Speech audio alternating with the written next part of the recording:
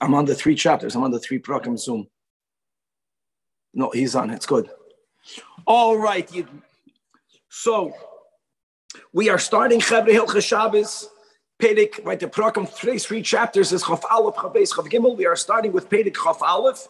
Perek Chaf Aleph is going to introduce the, the Rabbanans of Hilchah Shabbos, beginning with Halacha Aleph, says the Rambam. Nemar Batoira, the Torah uses the word Tishbois. Now understand and appreciate that the word Tishbois is actually written both in Parshas Mishpatim and it's written in Parshas Kisisa.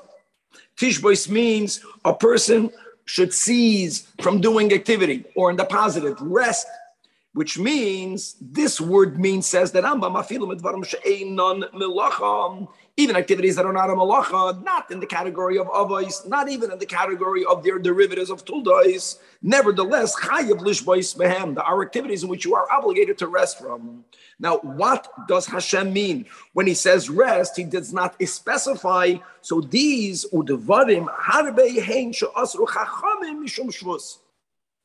So that's why we explained in a few words of intro. So either the word tishbois is going to be a pure asmachta, as it is, or there's going to be from the following uh, obligations of resting, it's going to be on one hand, it's called the Rabbanans, but the Rabbanan simply defined what Hashem means when he says which tishbois, which means that there are going to be many levels of shvus in the Rabbanan. It's not, it's asam the Rabbanan. Some of them are more closer to a Doiraisa or under the umbrella of a Doiraisa. Some of them are purely the Rabbanan.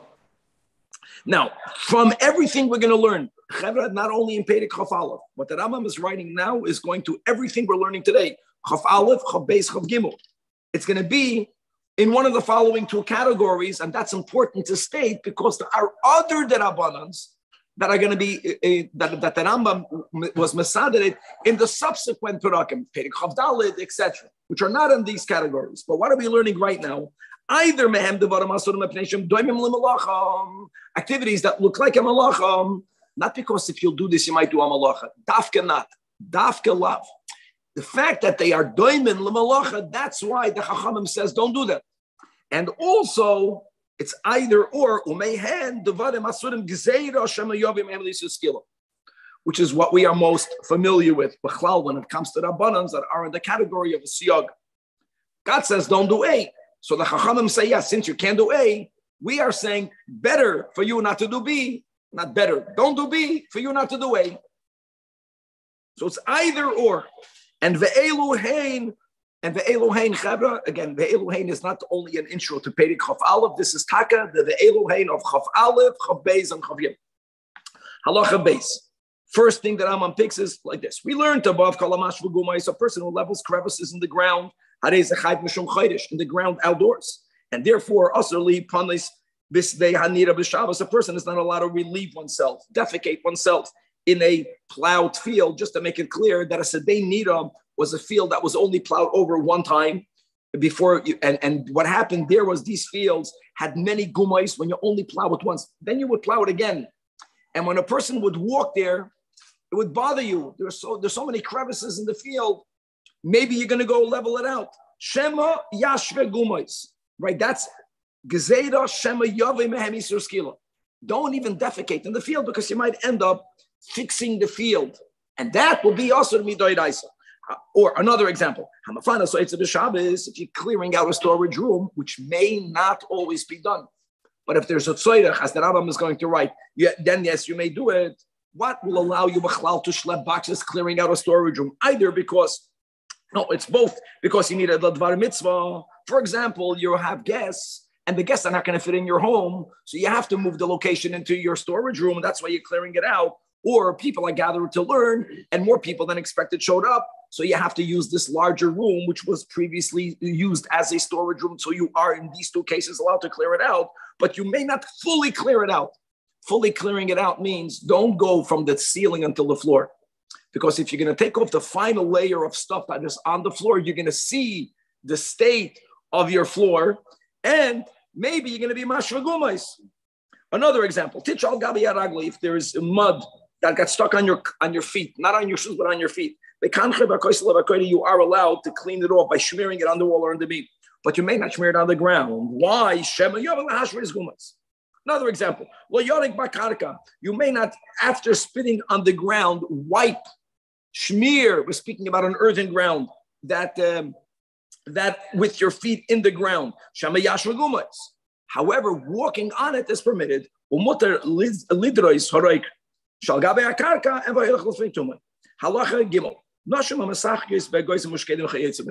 Women that play with nuts and almonds. It's basically they, they go bowling with it. Man, God, men are learning about it. The women, they're playing with nuts.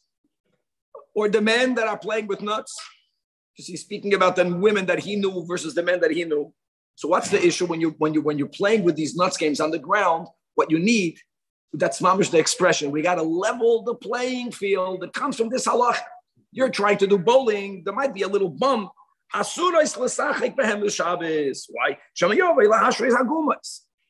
But also another thing, but also if you have a earth floor, you may not sweep it.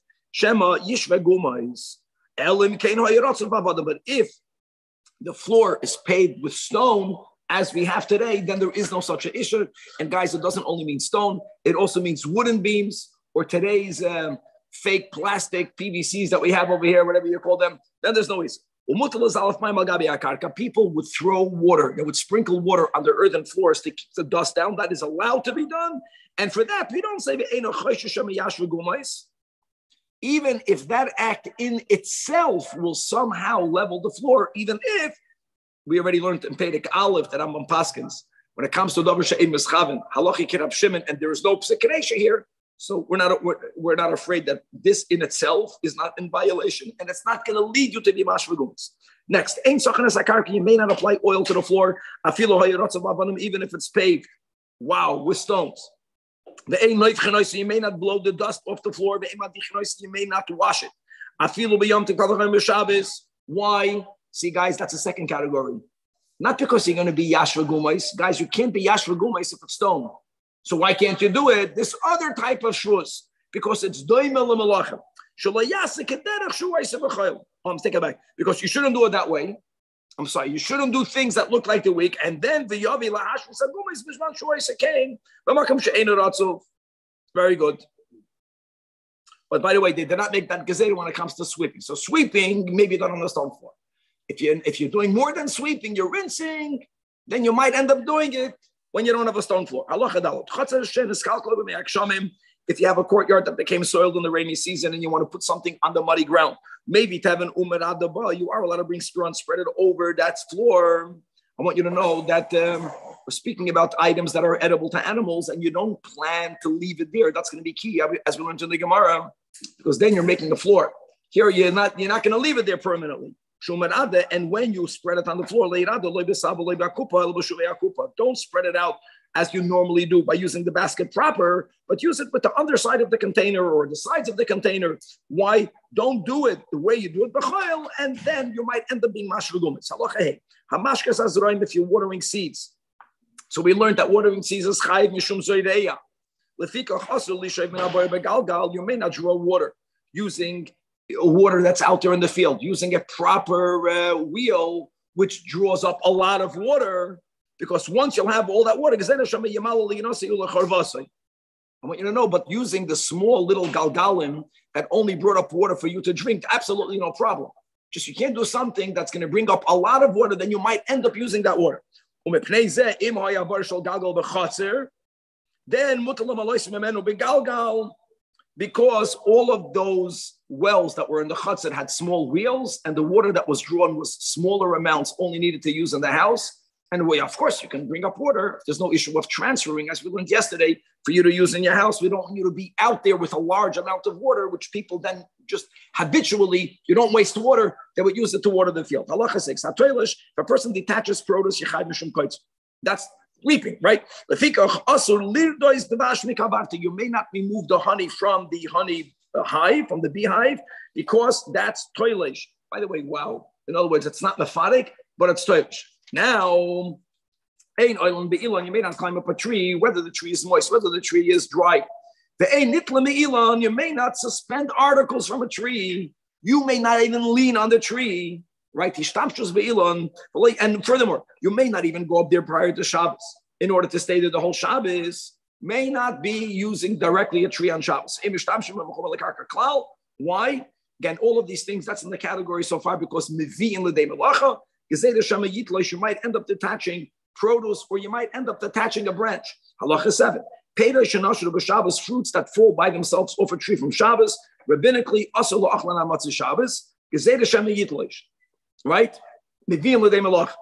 Hadas mechuber. If you have a myrtle that's still connected to the ground and you want to smell from it, here Chazal did not make a gzeda that if they would allow you to smell from it, you might detach it. You won't do that.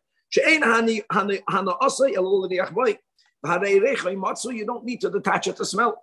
However, when it comes to eating esreg or tapuach and any other fruit that's on the tree, you may not smell it while it's attached. Why not? Because you might end up eating it. Based on what we learned in Halacha Vav, that you may not be mishtamish be'ilan if there's a tree that has roots that are protruding above the ground, so you're not allowed to sit on them if they go three tvachim or higher from the ground. But if they are within the three tvachim, since of love it's ka'aretz, you can sit on it. Now, nuance. If some of the root is above three, some of it is under three, then mutter lishtamish in the location that she'en gavaya. If all, if some of the branch, some side of the branch is above three, even if the other side of the branch is lower to the ground, then you can't use that, even though you're sitting on that side of the branch. Or, you know, how do you say taller than the ground? If you measure the ground, it's with, it's within three tvachim. But really, the ground over there goes in a little bit, or some area. And since it goes down, so kilo under the branch until the ground underneath it, there is the three tvachim. In both of these cases, we are machmir and osir leishav aleim. Halacha nine. Ein rechem b'Shabbos. You may not ride an animal on Shabbos because you might break off a branch for you to have a whip to drive the animal better.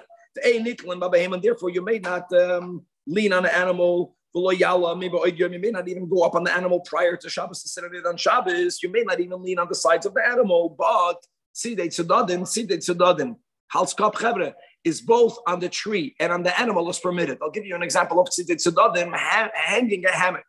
So if the hammock is around the branch, so it's on the branch, you may not go on the hammock on Shabbos. That's called sidei ilan, shtamshus ilan. But if there is a hook coming out of the branch and the hammock is on the hook, or if you have a rope with the hook and the hammock is on that, so the hammock is on the side of the side of the tree, that's mutter. Allah be'ilan the Shabbos. If you went up on the tree on Shabbos, so it depends. If you went up a shoygig, then you were allowed to go down. If you went up knowing you're not allowed to go up, also later you're penalized. It's better than the penalty of holding the items. Remember, that's better, but still you have to stay on the tree for the rest of Shabbos.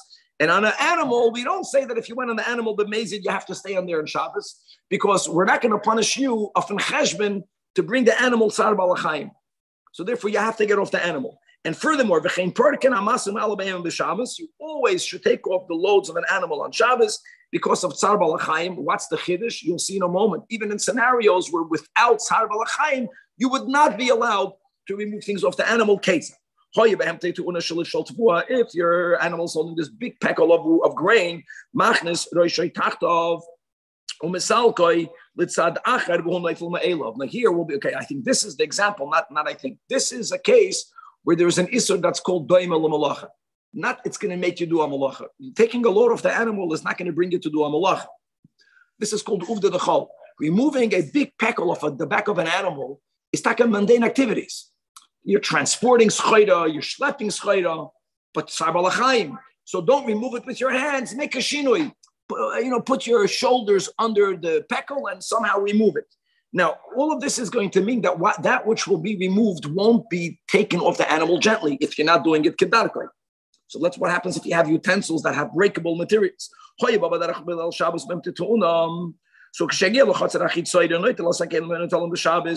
that are not muksa, you can remove. You can remove it because you are now in a private domain. However, but if the items on the animal are muksa to begin with, as we're going to learn in the later prakim, then then even though you may not touch muksa directly, but you can untie the strings, and those pekalach fall off by themselves. Now let's go further. What happens if you have breakable items? So if there are sakim ketanim, which means that if you bring thick pillows and the cushions and you put it underneath it. The items are not that heavy that if they will fall on these uh, pillows, they won't break, and that's the solution. Now, there's another issue. The other issue is, is that you are creating, you're creating muksa. Because when something muksa is on a pillow and now it's a base for muksa, so you can't move it. And there's an issue called you're not allowed to be mevatel keli mehichani, as we'll learn God willing tomorrow. So it doesn't matter. You're not doing that because even after those um, muksa small items are on the pillows, you can take the pillows away. Nothing is going to happen. You, since it's possible to remove the pillows away without touching the muksa, you know, you go underneath it, you slap it up, and therefore you're not being mavatal akeli, and we're going to learn that that's going to be at chafei. But if the if the animal is loaded with big bricks, big shtiklach of glass, guys, these are pieces of glass that were not cut for something specific, which means the owner won't lose money if they break. For some reason, you need these blocks of grass. If it's one piece or two pieces or three pieces, it doesn't make a difference. So then, okay, it's takamuksa, but there's no problem. Undo the, the ropes, let these sack and fall by themselves. And even if it's going to break, it doesn't create a big hefset because everything, anyways, is going to be melted down. That's the case where this person has it to melt down the glass. But we're getting to this point. If the sacks were large and they were filled with beautiful uh, glassware, now here there's many issues. Let's just go with the issue that if this came from beyond the tchum, then you're not allowed to move it. Let's go with that. So first of all, it's already in the Rishus How are you going to remove it? You can't do it kila achayat because we said there's a concept of lemalachu What's the counter value? What's the solution? To leave it on the animal? Sar Or to put it down in a way where it might break? Hefsid maruba. Here they allowed you to put it down. However, um, in other words, when we call whatever, make one thing, make sure the value of not causing pain to living creatures trumps all else. Let's try to make a shinoi. If you can't make a shinoi, or if by making a shinoi you're going to have another issue, which is going to be you're not going to have a big pillow, and then you won't be able to remove it. You're going to be battle and then remove it directly. Halacha yud aleph ha medabek peiros pressing fruit together, causing them to become one gush, one guf. That Rambam holds Yechayv Mishuma Amir. And by the way, the Rambam stands alone over here. We spoke this in the sugyas. There are many shitas that hold that Ein Ma'amir Ela B'Makim Giduloi. The Rambam doesn't subscribe to that is when you gather produce to a certain degree, not putting it in a basket, but when you squeeze them together, that's called gathering produce. And I, therefore, if your potatoes were spread out in the yard, says that Rambam, you can pick up one by one and eat it. Like, for example, remember this, that I remember from the Gemara, Tosfos says you can gather them together. It fell in your chutzah, it didn't grow there. It's not b'makim gedulay.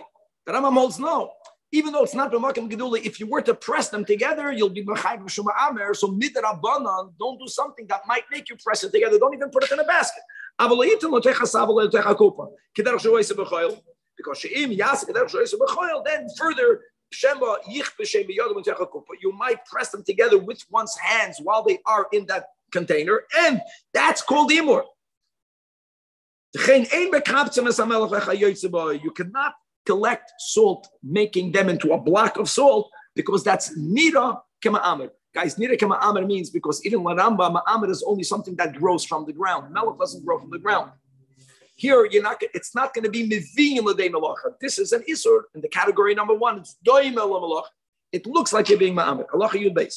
Mefarik. Mefarik is when you extract one item from the other. So we learned that Rambam holds that's chayv mishum dosh. And therefore, guys, we already had this above. If you squeeze some novim, which are pro, which which which are products that were made to be squeezed, which means the liquids have a din of a mashkin. Guys, oichel, may oichel is not mefarik. Right? It's oichel from soilus, like by grains from the chef. Liquid from oichel is mefarik. Now let's go to rabbinic. And we already mentioned it when we learned it originally that when it comes to tusam and moinin, these are fruits that some people would squeeze for their juices. Chachamim says you may not do it. Why? Why can you not squeeze the him? Because if you'll be allowed to do that, Abel, however, sha'ar peres, other fruits. That's shita sarambam, bisman harambam, like porishin, like quinces, like tapuchim, like apples, and as rurim is a certain type of apples. Mutar l'sachnam b'Shabbos, And by the way, this is one of the halachas which Pasha, the times changed, and therefore the halacha changed as well. Halacha Yud Gimel, kavashim, pickled, pickled uh, uh, uh, products, which are filled with juice because they were pickled. And ushalakas, foods that were sitting on the fire for a very long amount of time. That means they're filled with juices. Shesachatam, if you did squeeze them, so like im bufam, if you intended to soften the produce itself, muter. However, if you wanted to remove the liquid, then it's asur midrabanan. Right? It's doima to what malacha? Mefarik. The ain meraskin as ashalik You may not crush snow and really also ice in order to create liquid. But if you put it inside a cup or inside a plate, the Rambam doesn't differentiate. The Rambam writes it's permitted. However, just on Shulchan Aruch, we say that you have to put it inside another liquid. So when you take ice and you, if you don't put it in another liquid, it's doimah like you're boinam or like you're creating something new. Okay, halach vaiter. Hashum, v'haboiser, v'hamelilois, uh, garlic, unripe grapes, un, unripe grain.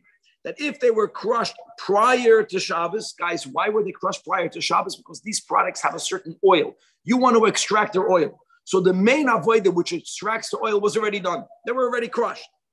If they have to be crushed a little bit more, also then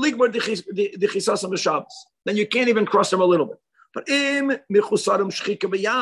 they don't need to be crushed at all, yes, they do have to be somehow ground by the hand or you know manipulated with the hand. And yet that you're doing right when you're getting the actual oil, that's okay.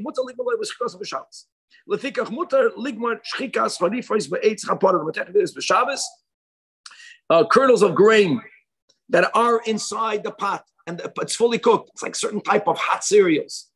So if you're going to finalize it, after you take them off the fire, you know, even today when you make hot cereal, if you, let it sit, what happens? You have to mix it. So the final mix is not a problem. Halacha yudalad hamoilul melila is removing grain from the husks. What's the issue? Mefarek, moilel, beshinoi, do a shinoi, do it unusual. It should not look like your dash. Now, hold on. Why, why, why, why isn't this actually a problem? Because since you're doing it biyad, below bekeli, it's already not called dash. In other words, then it looks like dash. And therefore, doing it with the shinoi, not just biyad, is you know, completely mutter. Another thing, if a person is suckling milk with his mouth, Pater im If the person, uh, I'm sorry, it's pater, which means it's pater al asr. What are you doing? You're mafaric, right? You're removing liquid. However, the im people understood that if they are with a certain illness in which they're groaning from pain, then suckling milk direct is going to be a refuah. Then muter loylinik befiv. Ah, you're mafarik. Okay, so doing it with your mouth, a human being suckling milk, is mafarik is kalacha yad. Kalacha means it should be asr midrabanan. And as we keep on learning, whether it's mishum, uh, you know, when there's a hezek darabim, here there's tzad, or mishum tzad legazru. And even if a person is not, it's a remedy. Uh, I don't know from where, from whichever one. Correct. Doesn't make a difference then. From animal, from the source. yes, from the source. Halacha tezvav. What happens if fruits had liquid flow or ooze out of them by themselves on Shabbos? So if it's coming from Zaysim and Anavim, also Lishtais Oisan Mashkin al Mitzvah Shabbos, Shema Gzeda Shema Yischavim Yischadaisim Shabbos, and that is a biblical violation. Which to begin with, even if you were to squeeze them, you're only violating a Rabbanon. If those fruits that you picked here you gathered because you want to eat them, which means you don't want the, for it to ooze liquid. Even though normally only zesim and anavim. But the Rambam did acknowledge that in his times already, were by some people used for their juices. If you were one of those people, then the same thing applies that even though you did not squeeze it, the liquids oozed out on their own.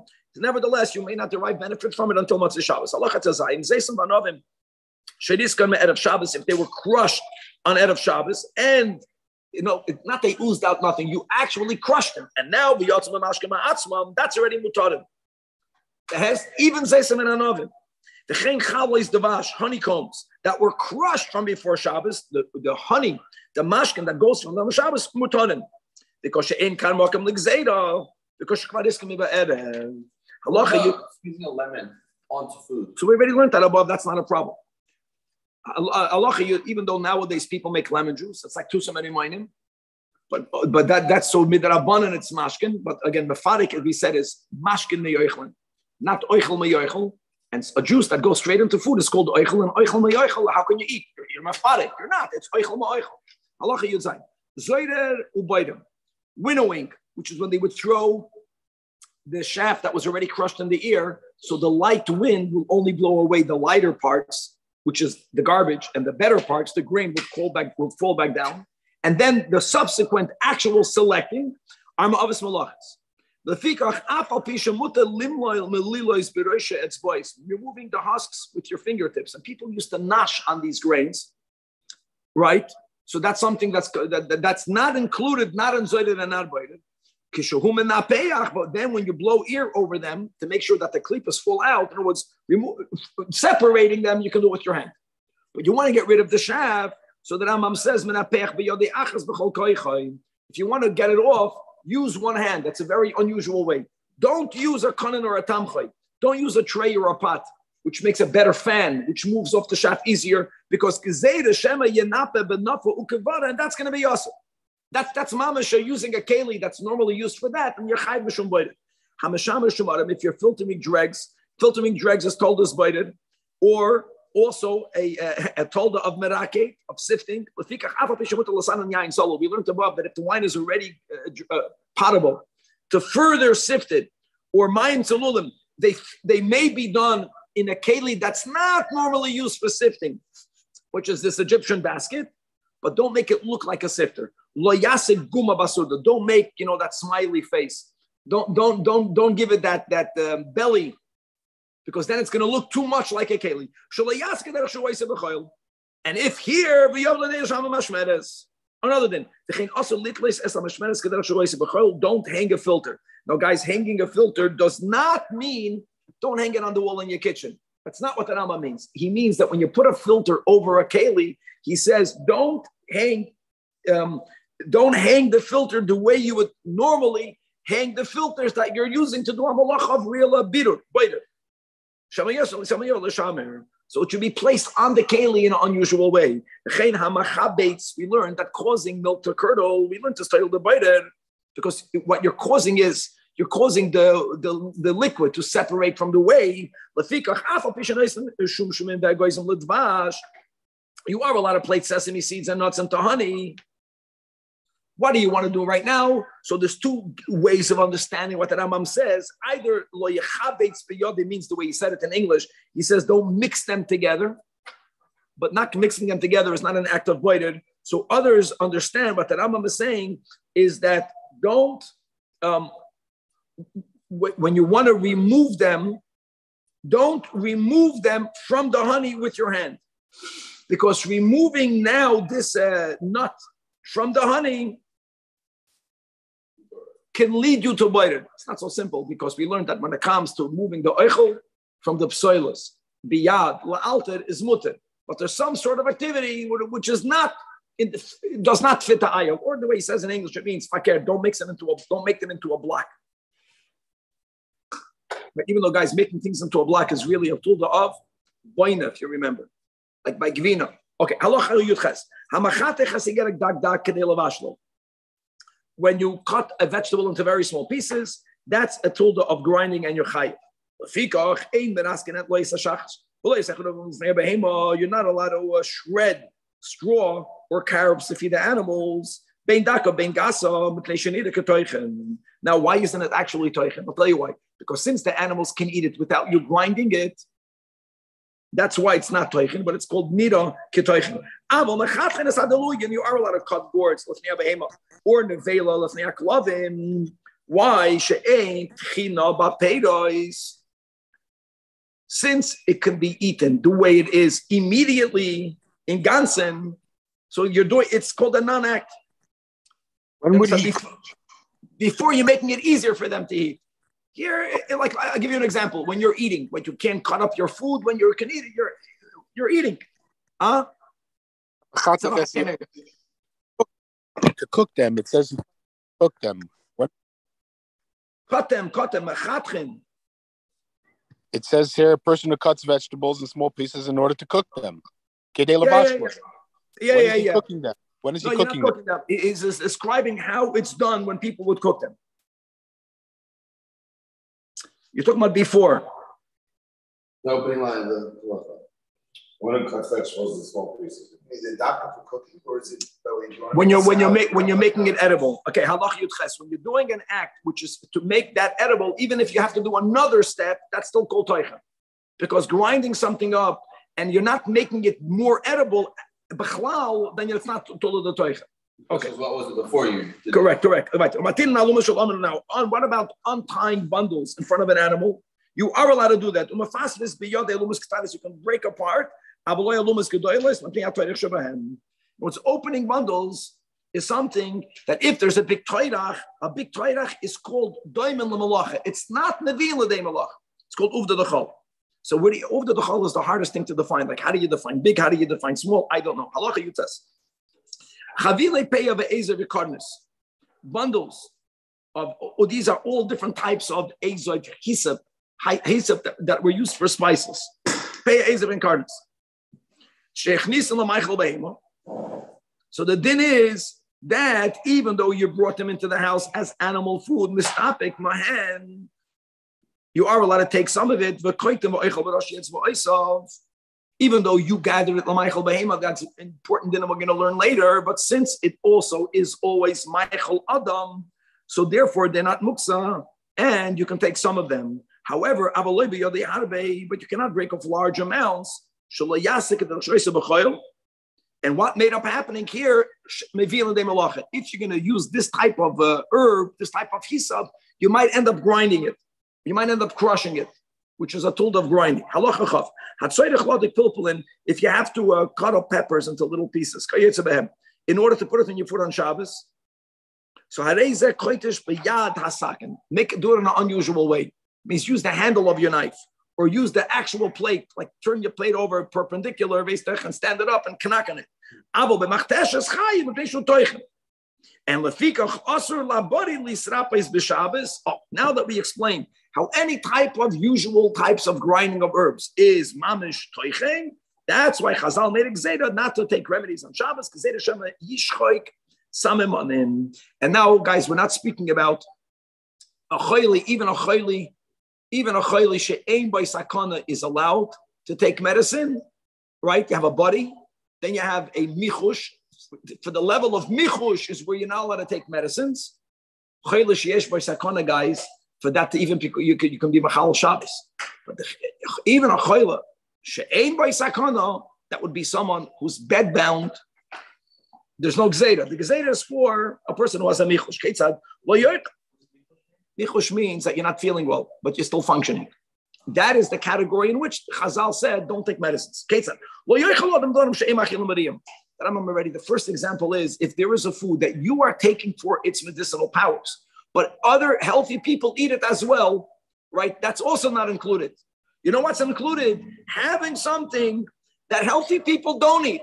It's exclusively consumed when you have an illness, like ezoiviyoin upua. Nor should you eat devarim that make you have a loose bowels, like la'ana. Can you imagine? You can't even eat them. Because since this is a food that only ill people eat, you might end up uh, grinding it. Like mayim shebish one of us On the other hand, you are allowed to eat foods or drink liquids that healthy people eat, even though you're doing it because you're not feeling well. Like hakuzbar, like kishus, like ezoi. Even though that they're healing you, shemerapim, and your kavan of eating it, kadeli srapois behem, you are allowed to eat it. Why? Now, shasa chiltis. Like vitamins. That's what Rav Moshe said, one of the big places. They said that vitamins you can have, not everyone says that way because since it's Michael Barium or any other preventative, correct? Uh, you can argue, oh, no, I'm not going to. Okay, we're not learning Hilchah Shabbos Allah Lamaisa, but there are many other Isurei Shabbos where you have a machlekes and a Paiskim, whether you say that Shaykh today because people do them or have them even when they're healthy.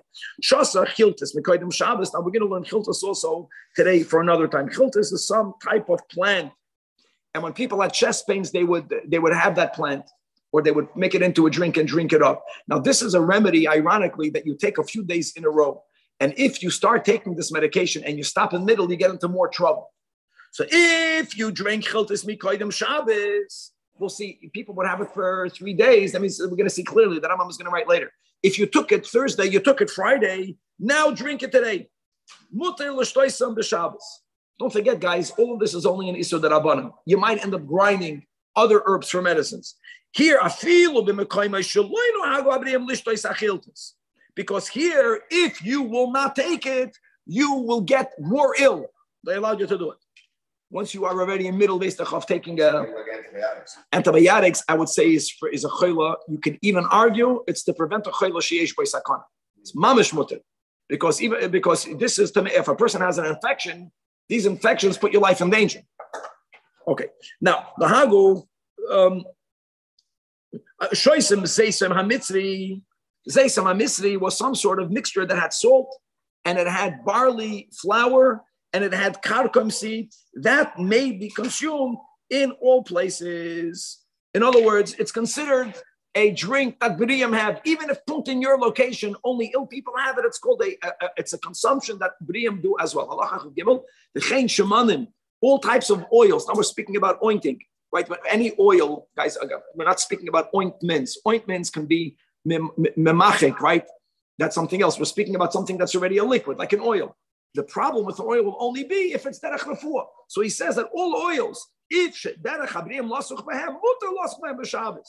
Even though you're smearing yourself with it because you want to get better. However, v'she'ein habriyam sachan oisan, only done by ill people, then it's included in the gazette of not taking medicine on Shabbos, asurin. So the achoishes b'masna, if a person has his groin, his groinal areas, it has a discomfort. And people then, only ill people that would not be feeling well, they would smear wine and vinegar. These are two liquids. There's no isur of rubbing over here. Because you're taking medicine. Because shemen is, is, is, is everyone uses it. Now, shemen vered is a very expensive shemen. So since it also has a medicinal, it has a curative uh, potency, but since it's very expensive, people only use it in most places if they're ill. So it, Rambam says it goes by case by case. You're not allowed to use it in a common place. Elabamakim, that if you're living in Pesach in Beverly Hills, people are very wealthy, and even people that are not ill, they smear themselves with the shemen vered, even though you're doing it litafua, in your locality, it's done even for B'riyam. Another din, mutar lasach shemen umelch b'chol makim. Nikva yodai ragloi, at some sabayayim. If a person has some sort of sore, right, then they can they can smear on it wine, but they can't smear vinegar. The im anoig, and putting wine is going to cause the body to heal more. After yayin asur, it's going to okay. If your teeth are hurting, people would sip through their teeth vinegar. That would be a, something that only ill people did, only sick people did. So. Don't sip it through your teeth and spit it out. Avol nigamehu baleya. Because uh, sucking on vinegar and swallowing it is something that some B'riyim do. Even though you're doing it to heal your teeth, your toothache. Another thing, if Apple cider vinegar. huh? Apple cider vinegar. Apple cider vinegar, shalaylam. Drink it for health purposes. But again, to help, Preventive. yeah, but the Rambam, I don't think is saying that. He's saying that some people stom had it. And Some people do it, so therefore if you're. That's what you can do, correct. If you have a throat, your throat is sore, lo yir ar enu b'shemen. Don't gargle with uh, oil. Gargling is already a, a refuah. But again, if you put it in your mouth and you're swallowing it without gargling it, without gargling it, but you need a lot of oil, so you're swallowing a lot of balei shemen harbe, The misrape, misrape. Another, elo yasan es hamastike. Can't chew gum. Because these were these were gums that were only chewed when you had toothaches.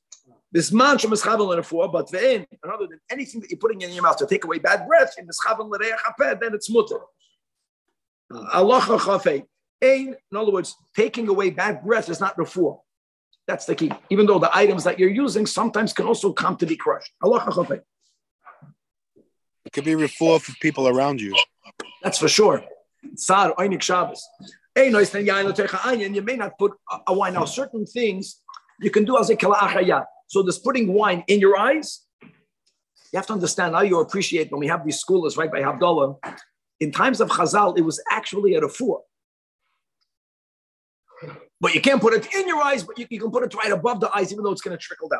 And because it's not direct. Another thing, right truffle, saliva that a person has prior to eating, and let me add, prior to brushing your teeth, that has creative powers. Definitely keeps everyone else away. Curative. Curative. Thank you. Afilu al gava ayin. That is so. It's such a medicine that you not only can you not put it in your eye, you can't even put it above your eye. Yaakov, you look very happy. Kilor. Kilor is an ointment. Shashara oisim erev Shabbos. Ma'avira al gab eino ve'eno Because you made it before. Again, you're not putting it directly in. This method of putting it near the wound, right? Right. If a person, uh, your finger became wounded, Lo yikrach olav gamik So don't wind it with the reed to heal it. Nor can you squeeze it out for blood to go out. Right. That's all uh, reform you know, that's a mechush ba'alma. You're not bed bound. Okay, halacha chavav. Now, guys, I know that we have the word chaymitz. Many other Rambams are going to chamin. Let's gonna go with the chamin. Ein noisnin chamin. Don't put hot water and oil on a wound, nor on a moich, on a cotton bandage that's already on your makkah. Not even putting it first on the moich and then put it on your wound. Aval, here again, this indirect. You can put the hot water and the oil chutz lamaka, right near the wound, and the choice is created lamaka. Guys, don't forget, all of these things are only are awesome The guy never has sick, so they they get certain times they said you can do it a little bit with tashinoi. The noisnen moich yavish amaka. If you already have this bandage and it's already dry, you can put it back, right? The im atik asur the but if this uh, moich was used before and, and it already has in it different types of ointments and creams, right? Even though it was pre-used, this this moich atik had curative uh, properties. I don't know if it because there was there was some medicine in it, or could be some they felt that certain cotton, old cotton, can cure you, and anything that's considered healing may not be done. Anything that's the other thing is you want to put on something on your wound that shouldn't get infected or other dirt should not go in, that's not a problem. We're speaking about putting something that will heal it. Oh, halacha shaparsha al gabi hakeli. If a bandage fell and it fell on a, didn't fall on the ground, machzir noisim. The point is like this, guys. You cannot put on a brand new retia on Shabbos. So if it fell on the ground, putting it back is as if it's never used before. You understand? If it was already done before, then you can put it back. The whole issue is again that you might end up doing a malacha because of the general rule she'ein shvus and that's a big statement because this whole ein shvus b'migdash, aside of us having this whole sugi and shas giving us exceptions to it, it became clear according to many rishonim that that's only when it's direct malacha related, the, the direct avoida related. This is not the this is not the related to uh, to avoida. How is it related to avoida? Adarabah. You know, when a kohen does an avoida, anything that creates a chatzitza is even a problem. There can be a chatzitza between his garments and, and, and, and, his body. There can be a chatzitza on his right hand between his hands and the keli and the, and the, and the whatever he's holding in the base of Migdosh. But anyway, wants it to heal faster so that you can get back to Avodah. Say that. Okay, that's already indirect. Okay, good. The Rambam doesn't say. The Rambam holds that Inshus Bamikdash applies to this. When we come you are always allowed to clean, clean the you know the opening of the wound. But but you may not clean out the bandage. Shema Yimrach.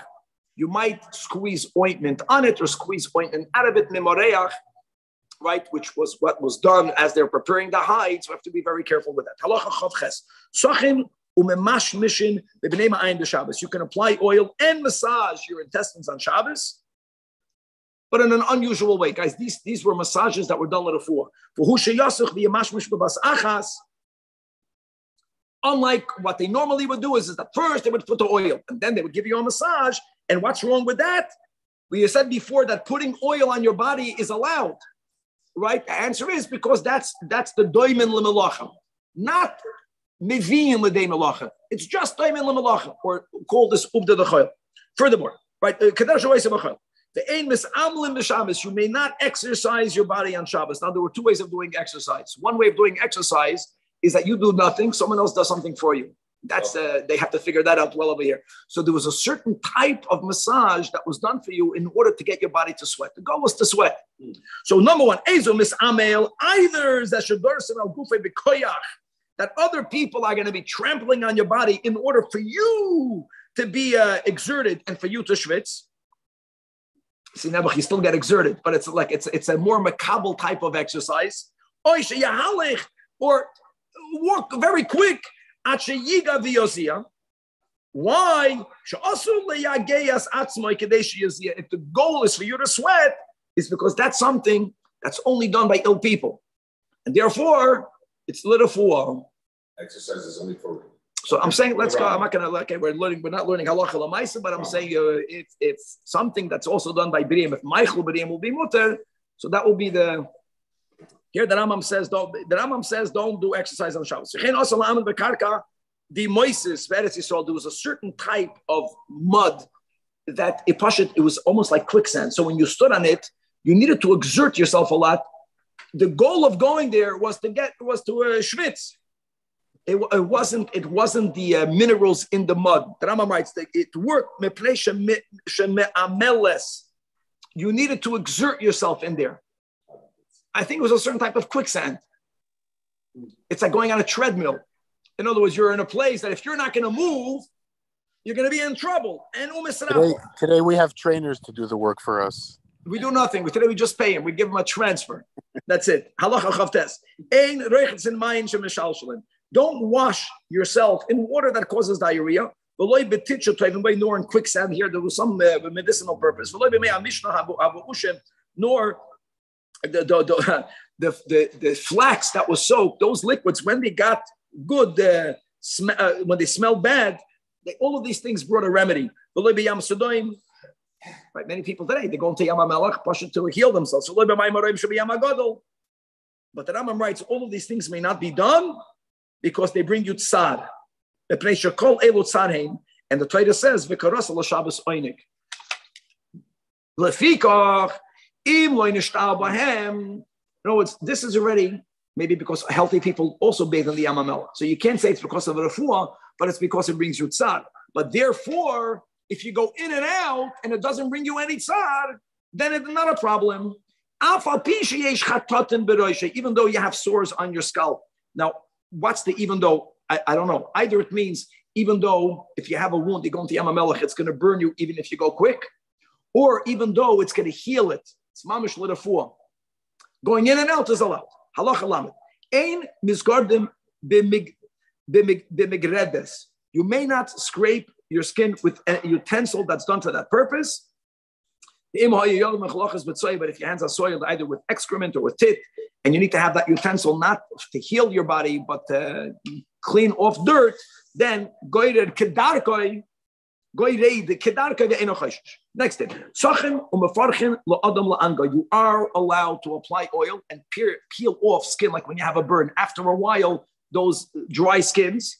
This may not be done for an animal, but if the animal is sad, then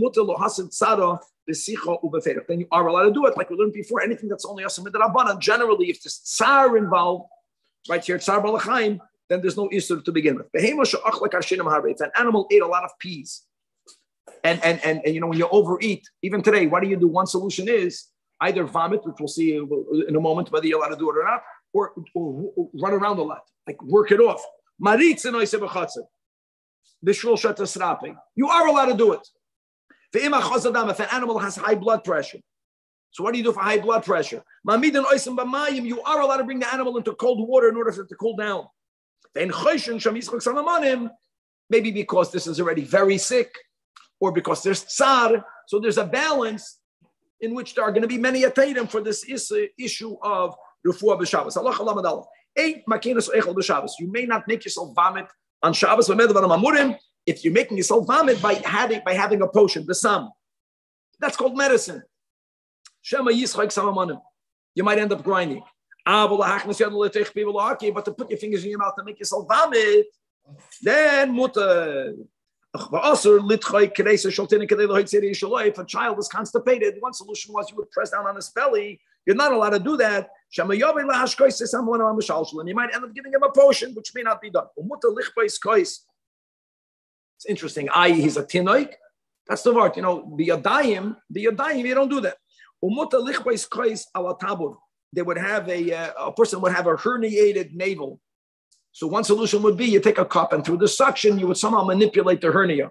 You, you are allowed to t- turn the cup upside down and put it on the navel in order to uh, to to fix that hernia. Guys, um, we learned about this. You want to straighten out his limbs, or you want to you want to straighten out his ears. We spoke about that before. Whether you're using a hand, right, a chiropractor, or whether he's using a keli and also, there were certain uh, muscles around the chest that sometimes you would manipulate those muscles to relieve pain.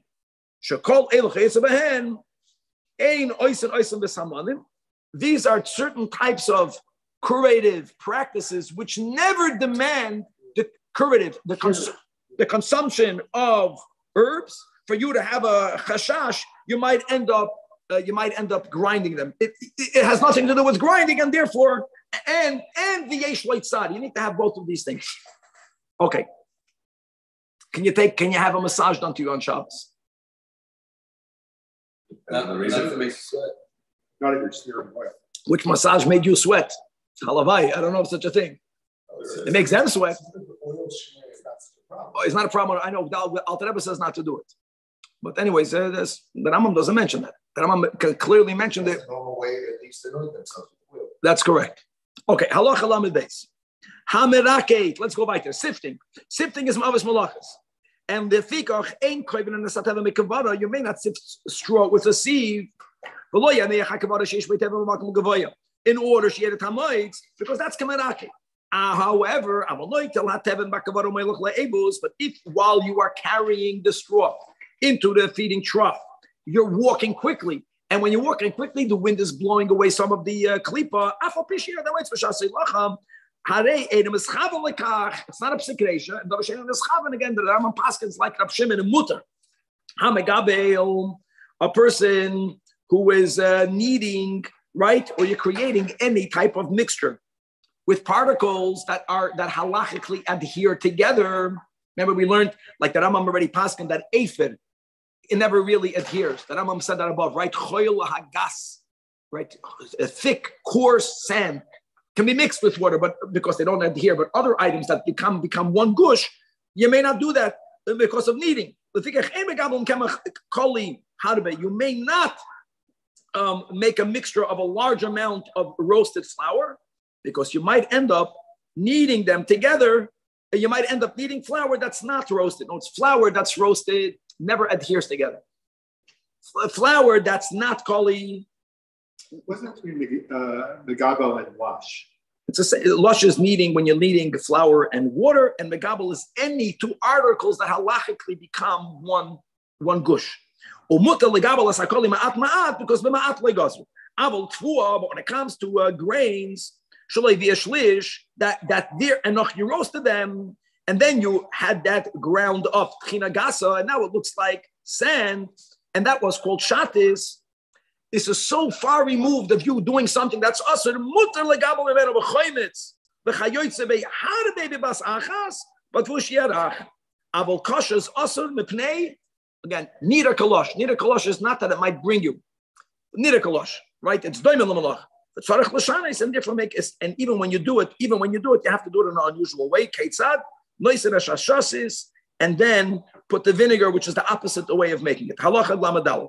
Hamursan, which is coarse bran.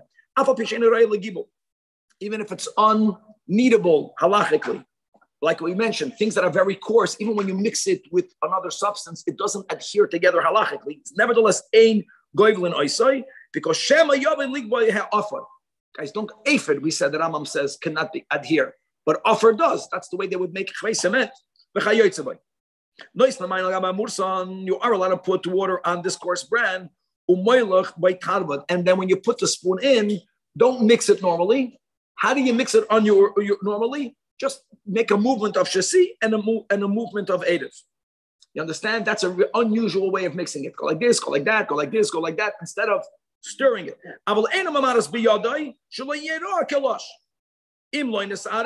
If it's not mixed, one way of mixing things together in an unusual way is having two kalim and you pour one into the other. In other words, if you're using the talba, the spoon, shasiva eda, but it's not mixing at all, it's coarse bran, then you know, move it back and forth. As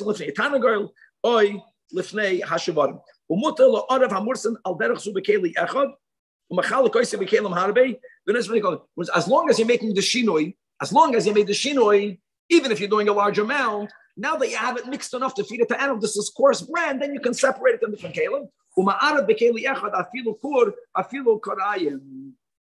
halacha lamed hey, ein machilim hey machayva Shabbos. A general rule: you may not force feed. That's the taich over here. All of these animals on Shabbos, the way you feed them bechoil, shema yavel ketishas kitnias, because you might end up grinding different legumes. Lishas kemach because this is what you normally would do when you would force feed animals. Yes, you could. We're not advocating to do it, but that was the halach, that was the common, that, that's the way they did it. And you can argue with Sar Balachayim, I can say for sure that when they were doing it prior to the shechting of an animal, to make the animal fat, there's no such a concept of Sar Balachayim if there's a Tzairach Adam. You minimize. If not, the Rambam wrote that. The Rambam, if not, how can you shecht an animal? How can you ride on a horse? You're doing it for tzleidich. It's not stam. Okay. What's called force feeding? When you would fill him up with food that normally he would eat over th- uh, three or four days. They would do that prior to our journey. The loyarbitz the way they would force feed is that they would lay them down. They would put them in a position, right, that they can't move. When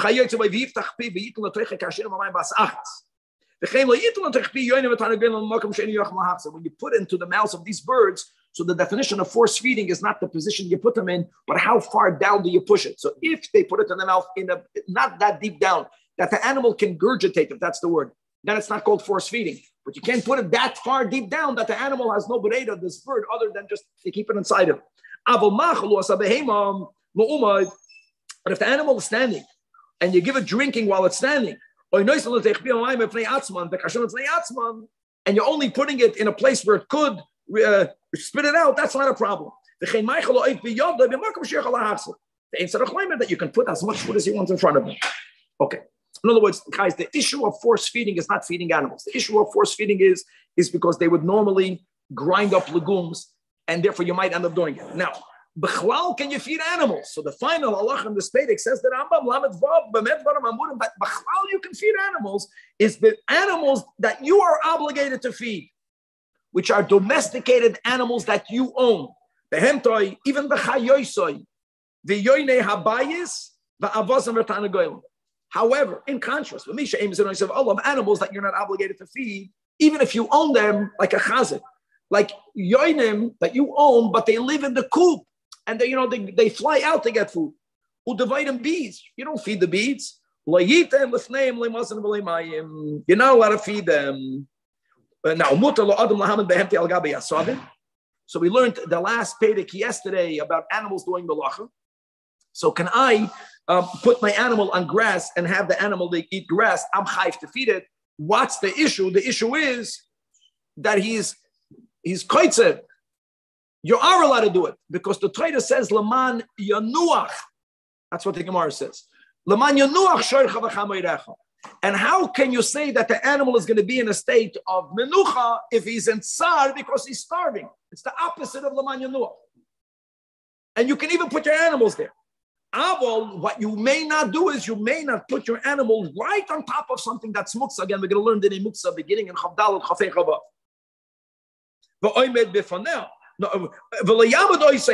muksa. Now, what happens if there is something muksa, but I can't bring the animal directly? I can cause my animal to go there on its own. What do I mean by causing my animal? The animal can go in any direction you want. The muksa is only to the sharp right. So you stand in front of the animal whenever it wants to go to any other place until the animal ends up going there. That and then and, and the same thing is on So if you are indirectly causing the animal to get there, whatever it sees, it eats. Many people are that way. If they see food, they're hungry, not hungry. You see it, you eat it. So by the animals, for sure that way. So you you make them see the muksa that you are allowed to do. And chavra a mazel toiv on Perek Chav Aleph. Now we're moving on to Chav Beis, like we spoke about in the introduction. Mamish b'hashgacha pratis. Chav Aleph, Chav Beis, Chav Gimel have one theme. We're speaking about activities, not av, not tulda. They're not mimsay chefticha, they're not abedover, they're not muksa. That's going to be later. But they are going to be included in the isur that we call shvus, which is either a doiraisa or a derabanan. The Rambam says it's a derabanan because the most is masurua hatoira lidei chachamim to define what the word tishbois means. Some of the tishbois is an asmachta, it's a pure derabanan. In the following one of the two categories, either because it's doimen lemalacha, not because you might end up doing the malacha, because it looks like a malacha. Like we had some of them, and the bulk in quantity for sure. What we learned so far is that Chazal said, don't do this because they might make you do a malacha. Like don't take it a four because you might end up grinding herbs. It's already not that big. It only has 33 halachas, another one on 36, starting with Halacha Aleph. Guys, what we need is this joy. And I can say that exercise during the week is definitely permitted. If you feel tired, get up and make 10 squats or more, and that will be it. Halacha Aleph, diasapas, removing the bread from the oven. Why is it not called a malacha? Because that, what, what, you remember that? It's called chachma ve'ena malacha. The diasapas tkiya shayfer, chachma. So it's not a malacha. Nevertheless, also chachamim. Why? Not because it's uvda the because Shema Yobi La'efos. It's Mivian L'dei Melach. Now, if you put the bread in the oven before Shabbos, and now it's Shabbos, and you don't have any other bread other than that which is already in the oven, so the Chazal were lenient. You can remove for what you need for the three meals, and not only can you remove it, but you can invite guests and tell them, listen, if it's going to stay in the oven another half an hour, it's going to burn. I'm not allowed to take it down. You might as well take it for your muzzing. Now, even though the dia again is not a malacha, in the cases where you are allowed to remove the bread from the oven, don't do it the way you do it in the week. So bemirda, some sort of scoop. Says in the English, in a baker's peel, it's the keli that was used by the professionals to remove it. Ella, remove it with a knife. You're not going to remove it with your hands. Your hands will get burnt. We move it in an unusual way. Halacha number two. Why did the chachamim make a decree? You may not enter a bathhouse on Shabbos. Mepnei habalonim. Balonim are the owners of the bathhouses. Big machlekes whether they were yidden or goyim. In other words, if they were yidden, if that's the way most people learn, so just because some people are machal Shabbos, or whatever. Many people say, yeah, that, that's the fact that since many people were Machal Shabbos and they got away with it because the, the customers were told, hey, the water was warmed up from before. But they, they warmed it on Shabbos and they said we warmed it from out of Shabbos. We're not speaking, you didn't pay them on Shabbos, but it doesn't matter. There are many services that cost money, like you go into a you know prepaid uh, Shabbos program, you go into a restaurant, you pay for it prior, pay post you know, even though it's a service for which you pay, you can use, you can use that service on Shabbos, but you can't use a bathhouse. So the Chachama made exeter, don't enter a bathhouse, and they went further. Even if you're not going to enter the water, you're only going to schwitz. You also may not do that. Now, now, I want to point out something regarding schwitzing. Why wouldn't schwitzing be asur b'chlal? Because it's a refuah. I think the answer is is because again, if you're from that just like foods or drinks, if it's maychel Beriyim, even though you're taking it litafua, it's not a problem. I think schwitzing was commonly done then. So we don't view it as a refuah at all. The problem will be you can't schwitz in a bathhouse, huh? Wouldn't schwitzing be necessarily that they heated it up on Shabbos? No, no, no, no, absolutely not. Because they had, you have to know how to work. They had a lot of fuel. The fuel was set on before. People would make a special lihirot and not to die in a bathhouse because there was so much source of fire under the planks that you were standing on. No, no, that coal's there and things stayed hot for a very long amount of time. We're going to see in a moment. Oh, now So number one is you can't enter a bathhouse, which means you can't enter enter the bath. You can't even enter the room to schwitz. Now, what about a shower? What about rinsing all of your body? So we differentiate in halacha whether you are rinsing all of your body at one time or whether you're rinsing limb by limb. The gozro also shalayishtativ kol gufay bechamin. Afila bechamin shomer of Shabbos. However, if you want to rinse your face and your hands and your feet with waters that were warmed up from before Shabbos, not, it's completely mutter. The above with with waters that were heated through fire. Gezena, that if you're going to warm yourself in your house, it's all about that. You're going to go to a bathhouse. It's all about, and then they're going to end. They're going to end up uh, lighting the fires on Shabbos. Abel b'chame teveria, but waters that are hot, but no one will warm them up. They are naturally warmed up. Mutter, guys, not to bathe, but to rinse your body off with their waters. Lihishtate kol gufay. See the difference? However, Likewise, that Rambam says you can't go into any other hot waters that are in caves. Why? Because those hot waters, they, in these caves, it, it, was a very hot area. People walked in there, they would schwitz. You can't walk into any area. You can't walk into a schwitz, basically. Even though there's not shaykh to make a Once they made a don't schwitz, so don't go into any scenario where your whole body will end up schwitzing. If that's your kavanah. So I think they had in Chamit was outdoors, and they had you could have gone near one of the pools and taken water from it and thrown it on you. It's okay. It wasn't inside a cave. Masha'inkin hot waters that are in a cave, so the whole environment is hot. Halacha gimel. A person. So now, now, can you can you can you go into a cold bath in the times hundred percent?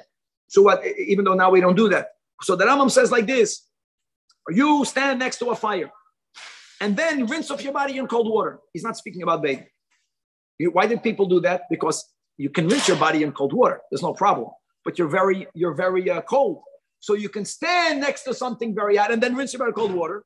And then go stand next to a, uh, a fire.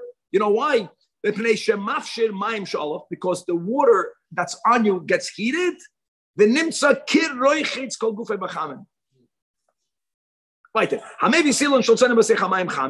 If you are you you're you're you're making a duck of water go through hot water. What happens is, is that when that water, when the pipe goes through hot water, the water in the pipe becomes hot. I feel with that is like Cham and Shulchan. Even though you even though you did nothing wrong, guys, if you remember, we learned that Mavashal was only by Aish and told us so Aish. But the Chamik Tevedi is not included. You can't do that because you can't bathe in hot water, right? As and nor you may not drink it.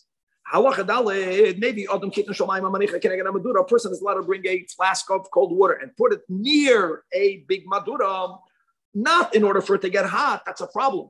But you're bringing it like it's like on the side of the blech, close enough that the chill of the water should be removed. That's not a problem. You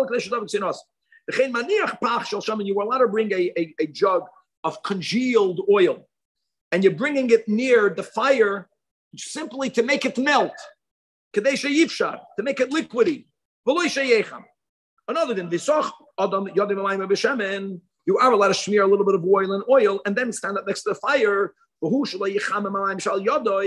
you can't get the water that hot. That's called yatsi ledus or uh, gets burned.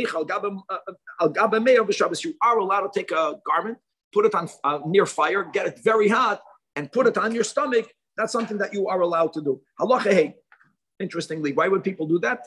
Well, if it's pure, because maybe derech beriyim, it's not considered a refuah to the point that you can't do it. Halacha ambati shal merchatz, a bathtub in a bathhouse that's filled with hot water.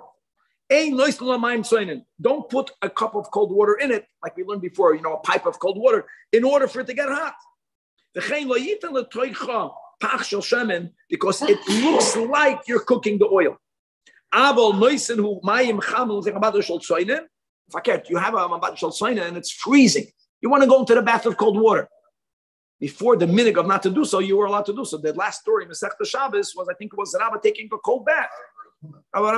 So you are allowed to, no, it's freezing. You can add hot water just to take away the chill. Mecham shapina mimenomaim, An urn.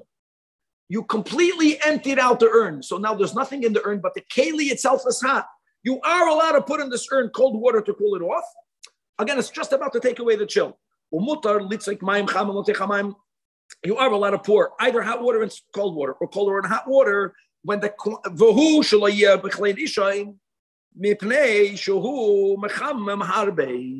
and if it's not on a kli rishon, it's not a problem. B'chal to know that Rambam holds Nekuda, Ein Bishul Bishul. Okay, hello, Mike. B'chein, Kedera Reisachas, if you had a boiling pot, Afal Pishohidi Ma'alo Eish, since it's still the kli rishon, don't put in a tavlin. But you are allowed to put in salt, interestingly, because salt only cooks when it's mamash on, the big fire. Another thing, the im if you pour the tafshel from the kedera that was on the fire into your plate, even though it's still boiling hot, even the spices. Oh, because the Rambam Paskins, Sheklei Sheni is not the Mavashal, period.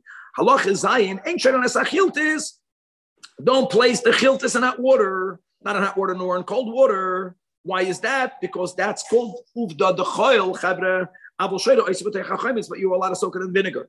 Now, as we learned in the previous chapter regarding this uh, type of uh, remedy that you took three days in a row, the im shasim chamishi v'shishi. Umanicha sheyecham. Why? Yechlem. That's why we were matter taking it a four b'shabbos because you already be, you already began this regiment, and if you stop in the middle, you're going to get worse. Something that was completely cooked from before Shabbos, or it was soaked in hot water before Shabbos. Afapi, even though now it's cold, guys, mutter l'shroisoi b'chamin b'Shabbos. You can soak it in hot water. Why? The Rambam holds ein bishul achar bishul. Now, the davar should say in nekarai something that never was cooked. You can't soak it in hot water, right? That's going to be cooking it, but you are allowed to rinse it. With the exception, when did we learn this exception? I think it was yesterday or two days ago. There were certain fishes, right? The, the ispanin, that just rinsing it in, in hot water would already gamar b'shula. Then you can't even rinse it. But other than that, you can rinse it. In other words, soaking it, guys, soaking something in hot water, never rinsing it in most cases. The only time you may not rinse it in hot water if the rinse is the Gemara Malachti. Halacha test. You are allowed to leave food in the sun. How,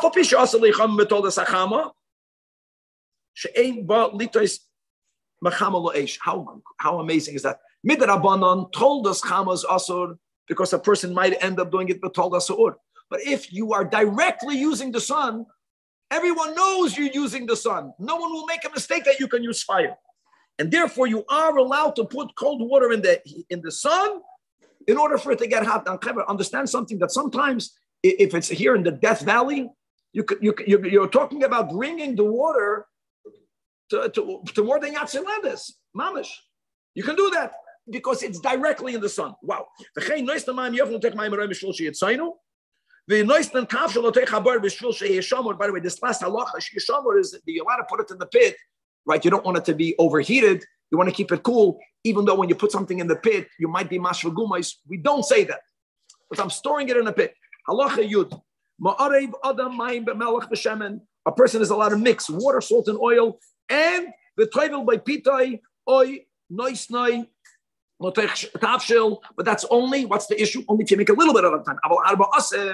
Why? Because oh, it's food related, and you're making a lot of it. Looks like you're cooking. Don't mix very strong salt water. You're saying not to make like a dressing for like a salad. Wait, wait, wait. No, no, no, no, no. That's not how to. That's not what you need for the meal. That's more than what you need. Don't make very strong salt water. What's very strong? Two thirds salt and one third salt, third water. Not over here because certain things don't adhere. These items don't adhere. Very good. The murias. Murias. See guys like this. And that, we're going to learn soon about pickling over here. Since the fish was soaked in such strong salts, that is something that you can't do on Shabbos. It's like a sign. Why would you have something that's that salty? Ah, you're making murias. Don't do that. Muta limlech beitz, you're allowed to salt an egg. Abel tsunoi, or a radish, you can't salt. Again, because since radishes were commonly um, pickled, and you're not allowed to do that on Shabbos. Why can't you pickle? Because pickle is like a mavash. But you are allowed to dip the radish or other articles in milk. In other words, you're making a shinoi. Because when you would pickle it, you would put the salt on it. So putting the salt on it, even though you're not planning to pickle it, is also because it. But if you're dipping it in salt and eating it, it doesn't even look like you're pickling it. You are allowed to mix wine, honey, and peppers on Shabbos to eat it. Well, that's the issue. We'll tell in a second. You know, mind the shemen, a farshimah. you may not mix together. Why? Because the Rambam says in his times and further back in the times of Chazal, that was only done for for uh, medicinal purposes, and therefore it's included in the isur of she'ein zeroy lachilas b'riyim so we're not even talking about consuming it. Know, on the last Vedic we spoke about consuming medicine. Here we're speaking about doing something which is normally done only for a medicine. Don't even do it on Shabbos. Mustard that has already been mixed.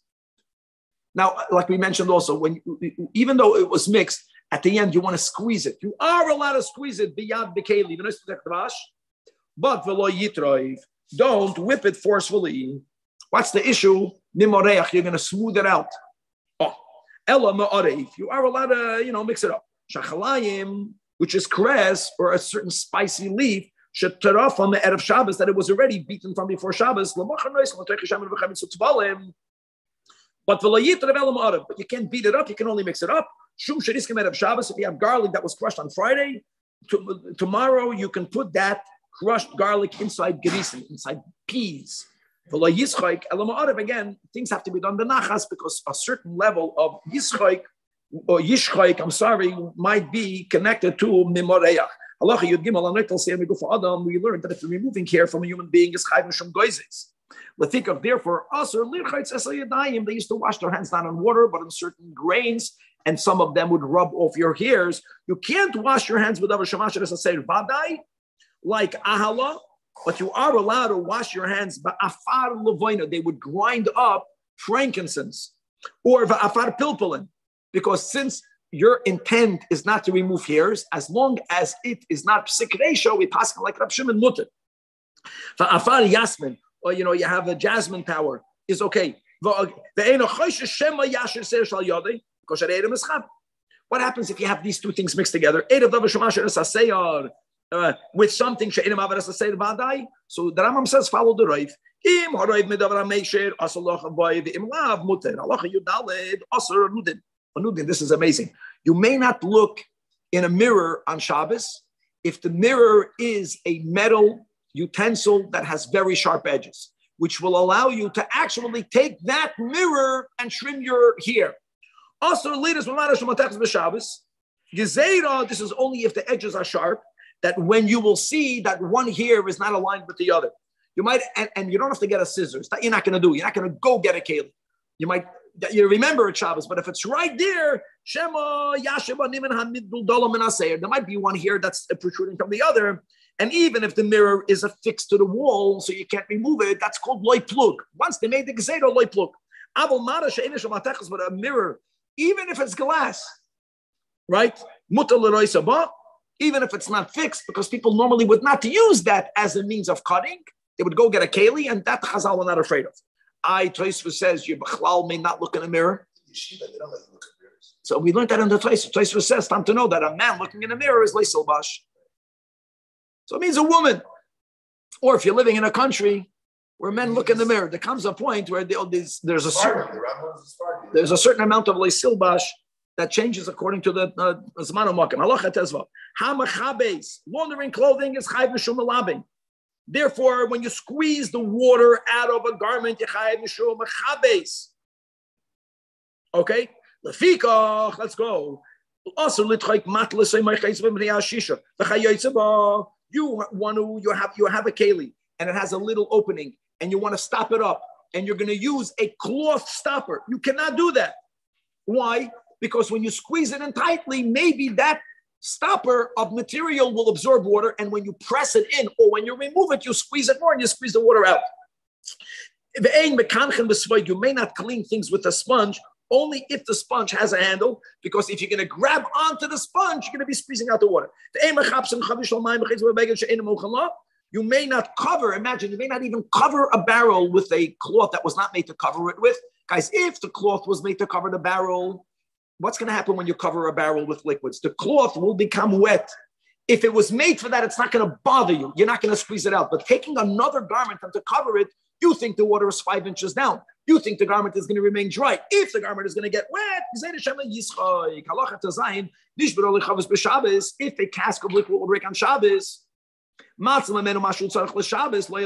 they allowed for you, right, um, not, not to sponge things up. Here's the issue, because then how did you save liquids? Many times when they would save liquids, they would take garments, they would put it on the ground, and then they would squeeze it out of the garment.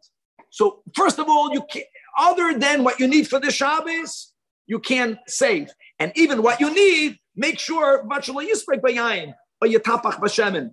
She'im yase kederach. The only way you can really save it is by getting another keli, putting it underneath it. And again, they gave you a limit, and the limit is only for what you and your guest need for Shabbos. How do you save it? Maybe keli oh, you bring a keli and you put it underneath it.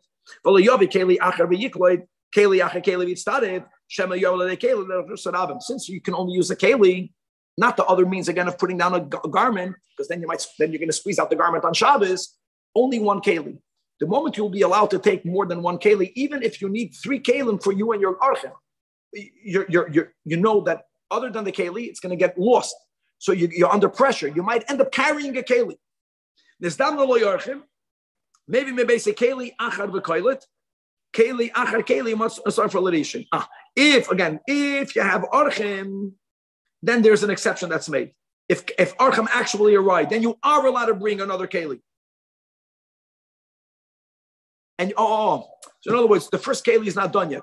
It's filling up the first keli, Danny. So what I'm doing is archim came. I need more. I'm putting a keli underneath, over the keli on the ground. So it's catching the liquids from the air. So the bottom keli right did not get filled up yet. So now I got another keli. And then I can use them both together. But Yasmin, you know, you know, the only way I can do it is, is that first I invited guests. And now, because I invited guests, I need more than this one keli can contain. So then I can use the system of prior to the bottom keli filling up, I can fill it up in the top keli. But if I'm filling it up and then inviting guests, it's not permitted. Now, the im hedem it's really I wasn't planning on inviting guests but my barrel of wine is, is getting ruined. The only time I can only save the whole liter if I have another guest. So I don't even, I, I wasn't planning to invite a guest, but if I invited the guest only to save the wine, so I'm making a, sub, a subterfuge, that's allowed. You're allowed to do that. Mutter. But again, as long as, and I'll tell you more than that, if I'm inviting guests, what, what am I benefiting? Because sometimes I know that that guest doesn't drink wine. That's, that's called the haram. That's still okay. Because since I'm inviting a guest and that a person consumes X amount of wine per meal, that will allow me to save more wine. Halacha Yudzayin, teach al bigdoi, if I have mud stuck on my garment, so the issue is laundering. So I'm allowed to be mechas kisoy bibafnim. I can rub it from the opposite side. I'm not rubbing it directly off on the dirty side.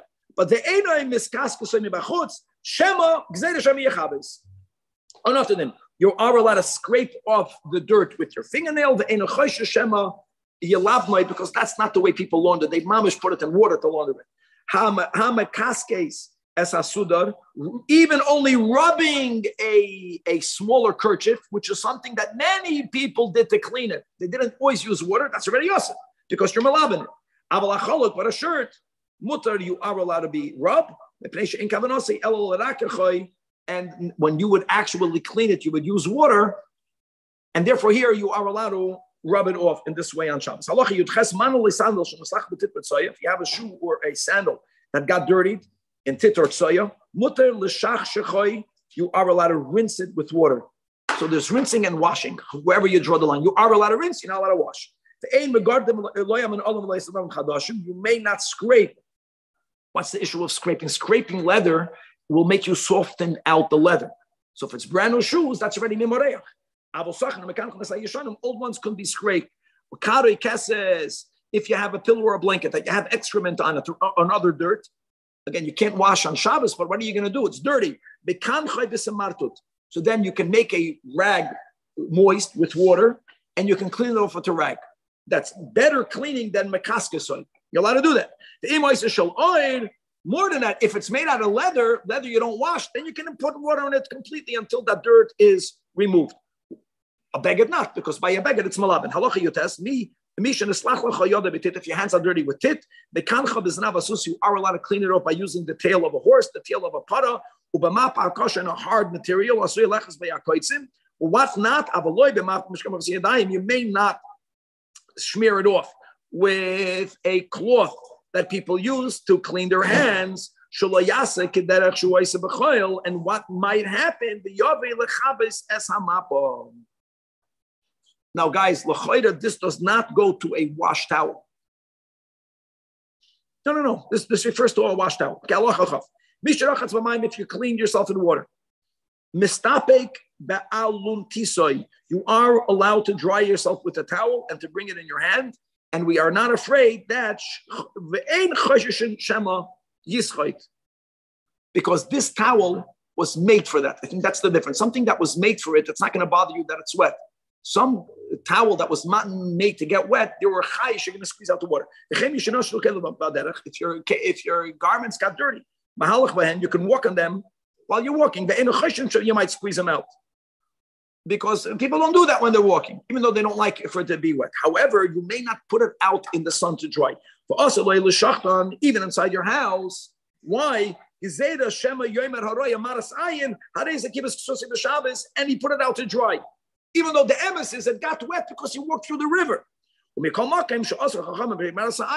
doing it in your house? No one is seeing because of the rule that anything that's also because of maras ayin, afilu b'chadri chadonim also. Halacha chaf aleph, shtei metarais zu gabzu, two mikvahs one on top of the other, and there would be a plug. This is a bite al gaba bite, right? And so noitel asapkak mimatayim mashikan. You are allowed. To, you you can take out the plug, guys. The plugs were not out of rubber. All of these plugs were made out of garments. There, this chashash, you might squeeze it. You are allowed to remove it making the waters mix. You can put back the pkak because you're not going to squeeze it because you don't want for the top and the bottom waters to be completely separated. Fakert, you want for the waters to be touching one the other. Another din. If you have a drain, you can use garments, a material to plug a drain. If the kavana is, if the only reason is because you don't want the waters to overflow and to really soil garments, which means you don't need to plug it up completely. You just don't want the waters to be flowing out strong. So you're not going to stick it in tight. Then you can use it. But if you don't want any of the waters to be lost, you want to gather all the waters. You don't want any of the waters to leave A. For all the waters to go to be reserved to get go to the reservoir and through channel B, then you're going to stick it in tight. Oh. Also, you may not, we're speaking about now parts of laundering, was the way they would fold things up. You may not fix the sleeves, right? Adjusting them or to fold them. Folding shvarim, shvarim, shvarim means you're folding the garment in a way you don't want to have creases. So you're beautifully folding it on Shabbos. You may not do it because uh, we'll see. You know, it looks like a, it, it looks like it looks like, or you might end up laundering. You cannot fold any garments.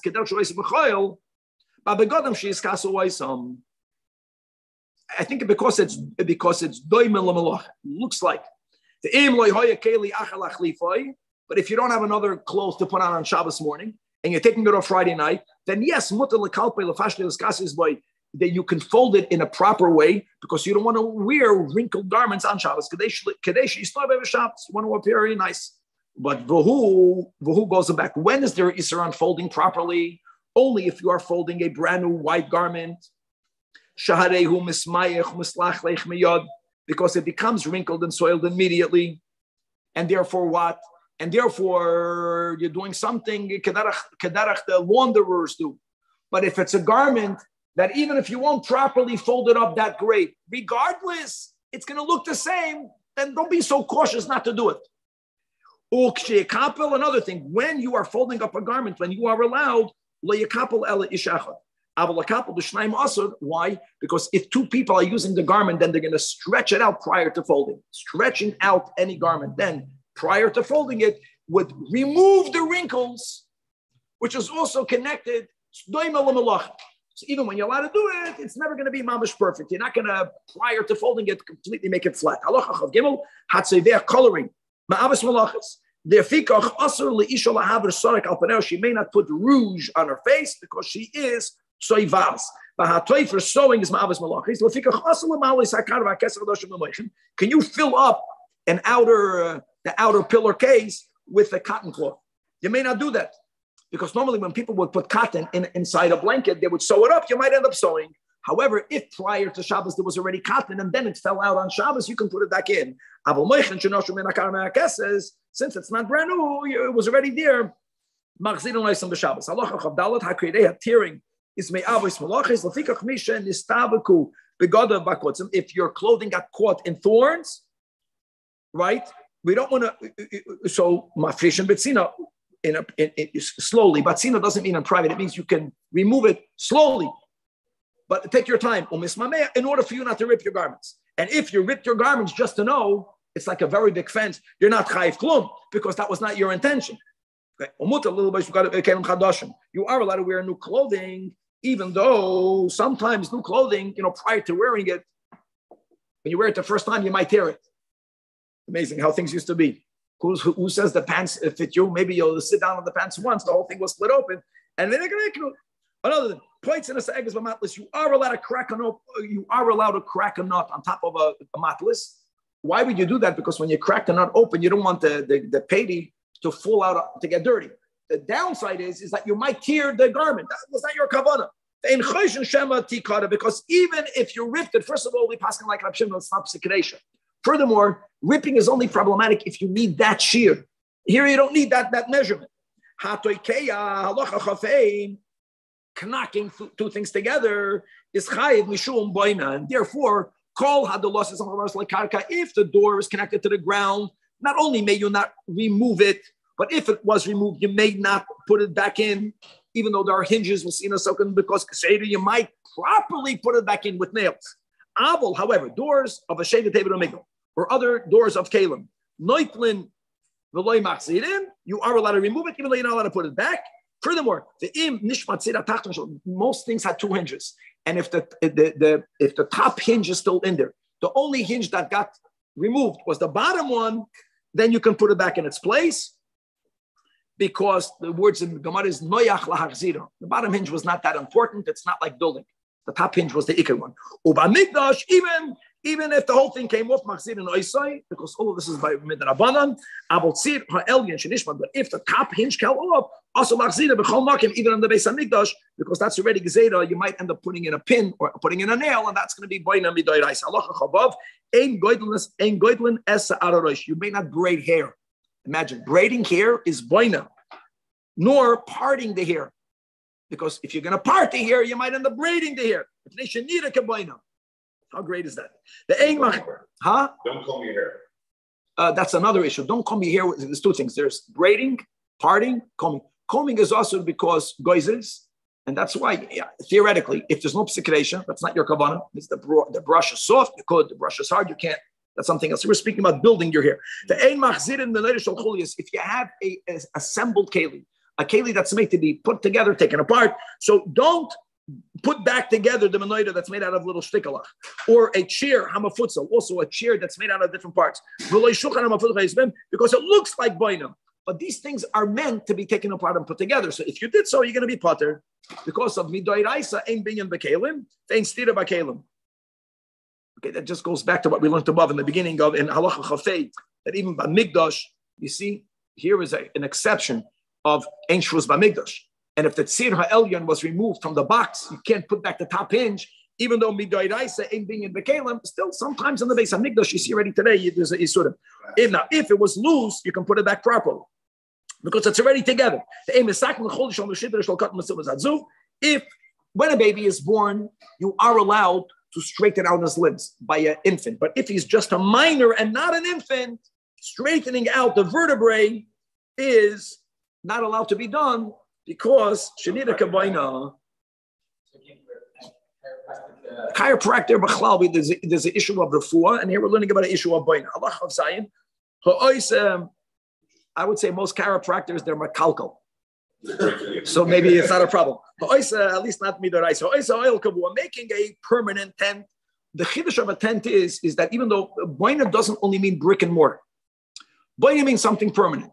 So if you're using any other material to make an oil, which is a covering, if it's kavua chayet, now midrabanan you can't even make an oil arai, at least not lechatchila. Nor can you take apart an oil arai. Shema yasa, shema yasa, or yisrael kavua.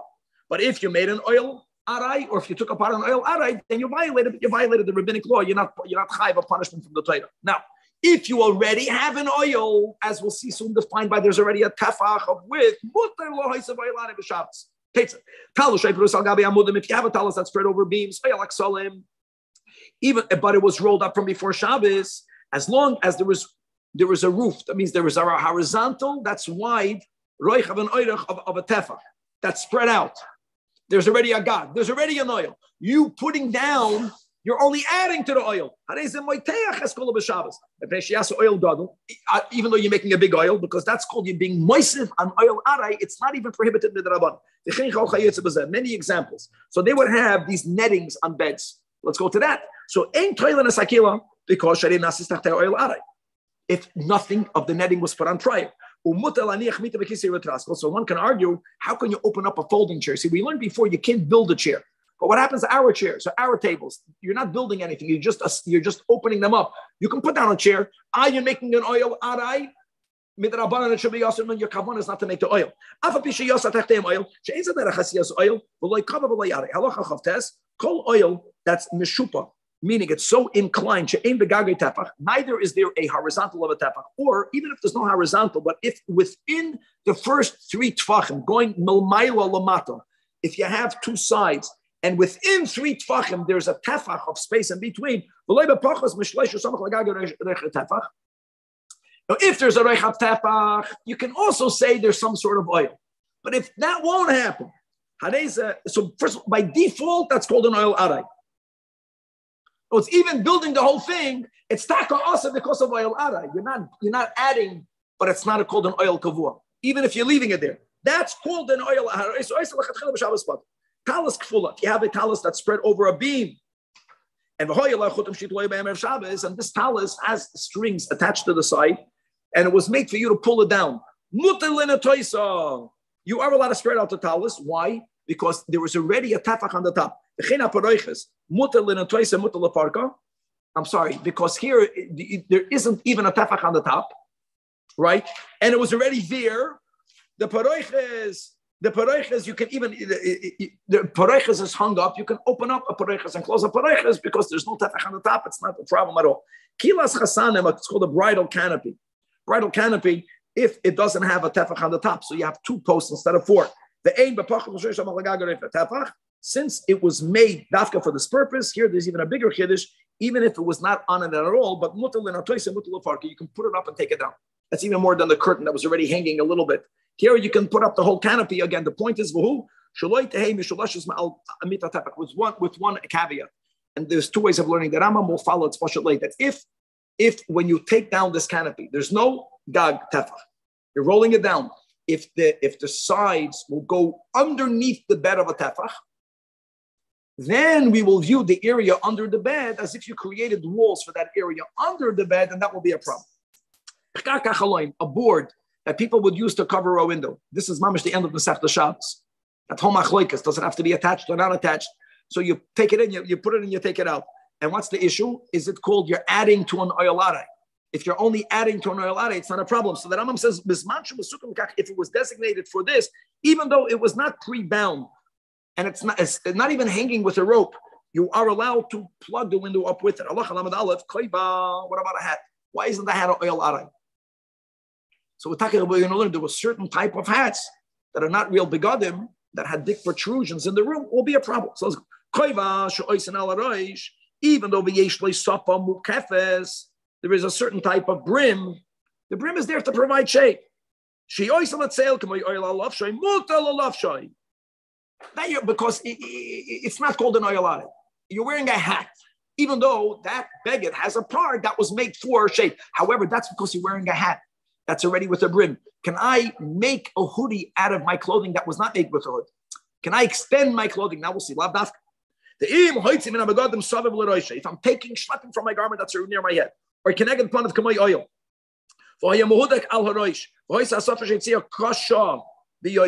If whatever I'm wearing on me that's now being extended is hard, it's like a roof, it's awesome.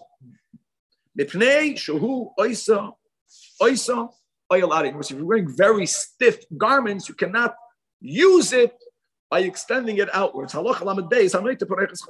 a person is hanging a curtain, you have to be careful that while you're hanging it up, you should not make it into an oil. In other words, when when um, when you're hanging up the curtain, why is it not an oil, guys? Because there's no oil tefach. But if I'm hanging it out, if I'm going to carry it even only for a moment horizontally, don't do that. And therefore, how do you guarantee you won't do it? Make sure two people are putting it up. Dafka use two people.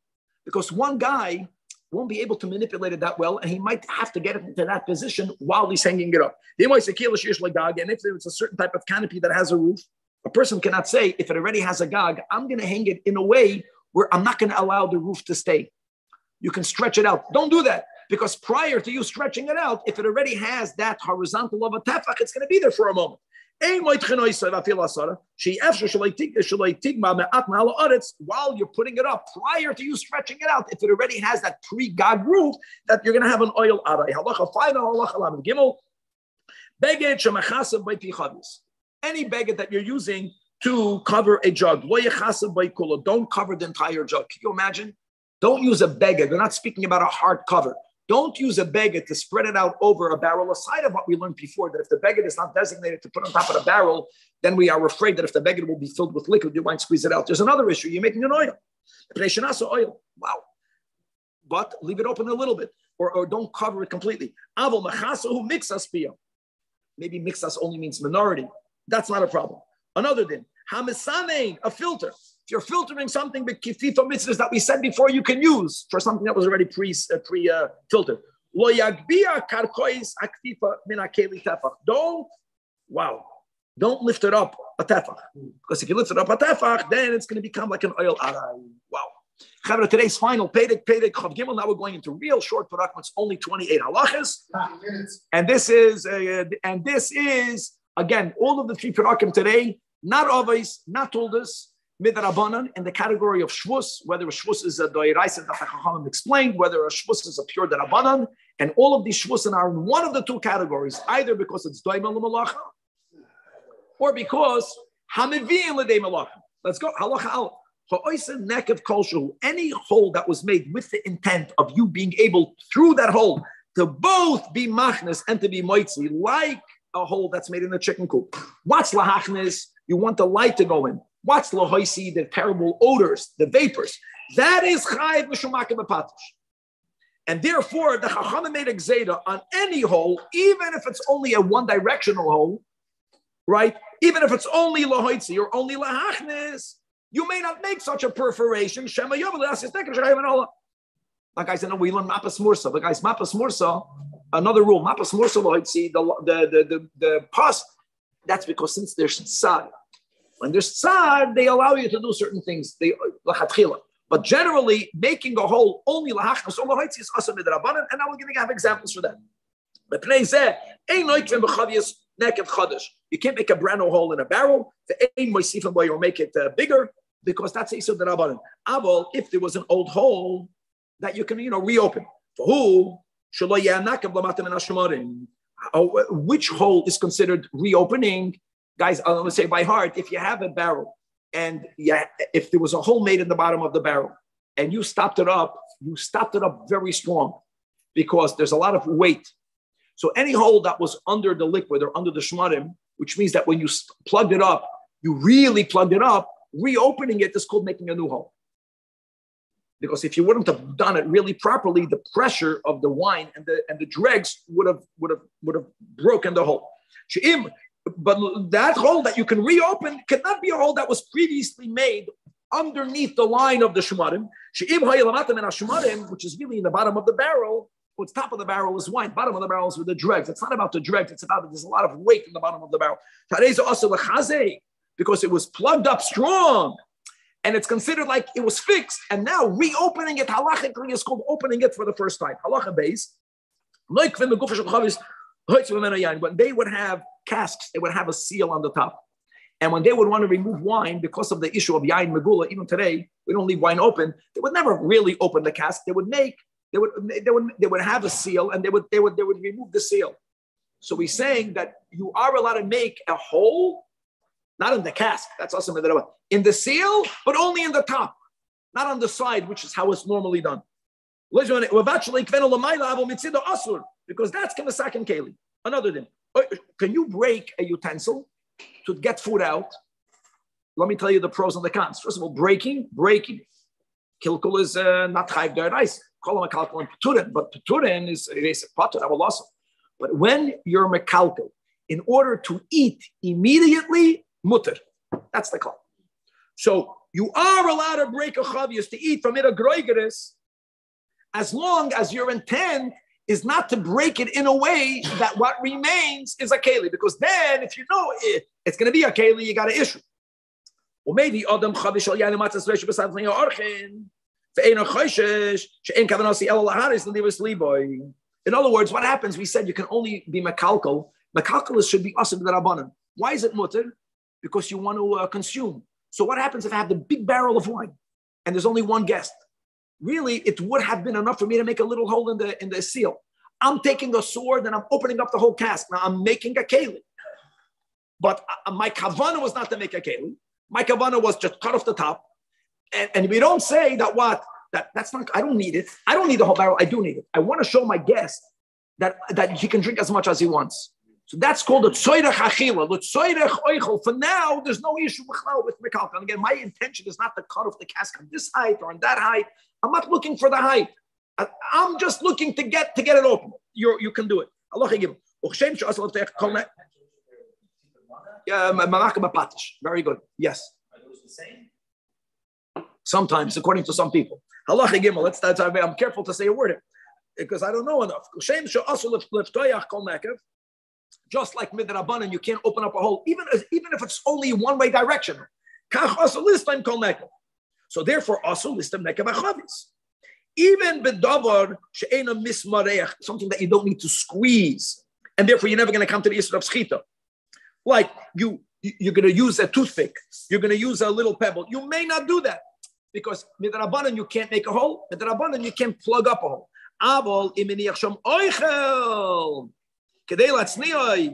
But if I'm doing a harama, um, I'm putting food in the barrel. Happens to be that while the food is going in the barrel, it's getting stuck in the hole.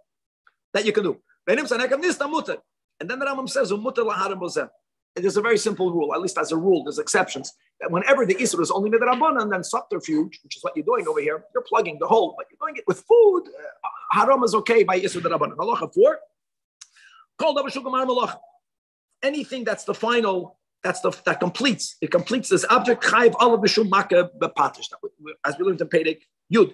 If you scrape any utensil on a second. You're chayev. Fixing an instrument. That means you have the whole keli was made already. You have a string instrument. The string broke. Fixing the string is makabapatish, right? Putting on the string. Bein b'chlei going right? Fixing a musical instrument, since this is now what makes the keli functional, you're chayv b'shamak of a patish. Without that string, maybe it's not right. If you play with it, maybe it's not. Okay, what about banging your finger on the ground or on a table or one finger against the other, as people do when they sing? eso egis latinoik, or rattling a egos in front of a child that's you're making yamashmiya koil, or loy bazoig, if you're playing with a bell in order for him to be quiet, calls it a boy, all of this, afila, all of this, according to the Rambam, is asur, gezeda, shema, yisakin, klei, shir. And therefore, Allah, hey, this is really a Mishnah. I know that we pass in like Toys, it's not like the Rambam, but the Rambam says, therefore, a misapkin, you may not beat a drum. And by the way, a drum doesn't only mean a drum, it means even the beam of the table. But you may not dance. Which is why some people who don't follow Tosfos, they don't dance on Shabbos. You're not allowed. But loy metapchin, no, you can you metapchin is to clap hands. The Shabbos, glishir. The only heter for clapping the hands, according to Shita, is to clap in an unusual way. We don't paskin like this. And the Rebbe in the Rabbim, when the holy people around him, like Rabbi Chodakov of blessed memory, would clap on Shabbos like this, the Rebbe would always show him to clap straight. And as a chassid, when the Rebbe showed him that, he clapped straight. The next Shabbos, he was back to this. It's amazing. Every week, the Rebbe would look at him and tell him how to clap his hands. And that's called a chassid. And that's a, that's a lesson for us. Halacha, of, oh, middle of hay. Another din. You cannot swim in water because you might end up building a raft. Now, that's only in a place where you need a raft if you get into trouble. What about a small pond of water? No one builds a raft in a small pond of water. So you're allowed to swim in it. You're not going to build a raft. If there is something that makes this look different than a river, different than the ocean, and that is there's a rim around it. There's an edge jutting up. We paskin like this. However, in other words, we paskin, even though our minig is not to go swimming in a swimming pool. I'm not saying we it's a minig, but I'll din for people to say, ah, swimming in a pool. I'll tell you paskins like this. If there was something protruding, it's not the infinity pool. It's not water that easily splashes out, which makes it similar to a body of natural water right? Since there is a safa, it doesn't allow the water to easily splash out. It's not enough that it's small. It's not enough of a hecker. It has to be something different than a natural body of water. And then the Rambam says you can swim in it on Shabbos.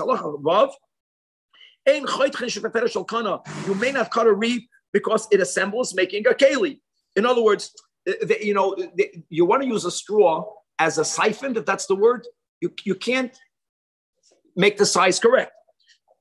You can't make the cut. Now, if it was already cut, it's, it already can be used as this uh, keli of having water go from place A to place B.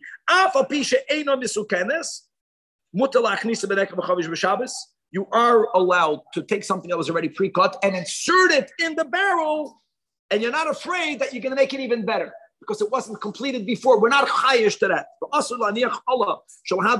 However, that's because, guys, you're taking something as it is and you're sticking it into a hole, you're making it into a spigot. What about taking a leaf that's already there and rolling the leaf to stick it into as a spigot? Here you're doing something. You're rolling it, that's already awesome. Because you are as if you're making a marzet, you're making a faucet. Again, before you're not doing anything. The kana is already, it's a natural straw. You're just sticking it in. Here you're rolling the leaf, even though it's not a substantial activity. That rolling is kamas. The ain shreivin and asacheres. You may not break a shard and rip paper, which was something that people would do when they would fry fish. Certain fishes they get burnt very easy, so they would break a shard. They would have a nayir. They would soak the nayir in water on the big chef samach, and then they would put this paper on the shard. Then they would put the fish on top of the paper. Then they would put it over the fire. Then the fish would not get burned. So just breaking a shard, which is mekalka, right? Uh, uh, uh even with Chaychel. Or ripping a paper, it's kemisak and keli because sometimes this is an act of tikkun. Halacha zayin.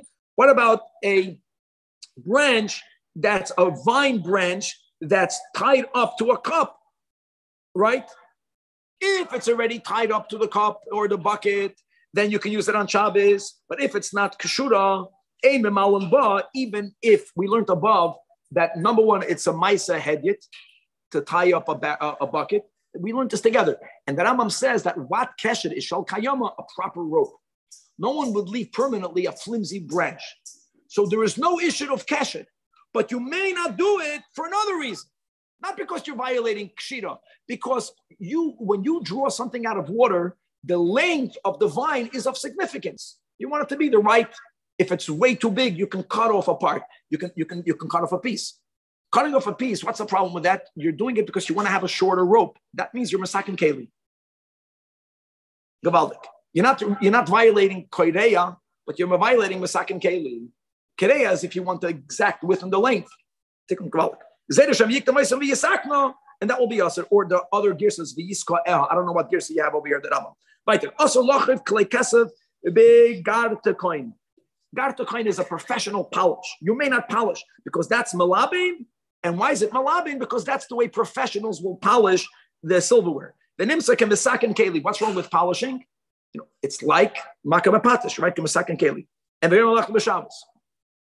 Yeah, the Rambam, uh, Rabbi Yaakov definitely interchanges these two words of goimer malachtoi and makabapatish. Avo, but if you're using a non-professional type of uh, polish, which is sand or neser, that's allowed. Other utensils may be polished with any substance because they don't need to be polished. Also, you may not wash out plates or be or pans. Why not? Because that's kemasake. Now, uh, one second, guys.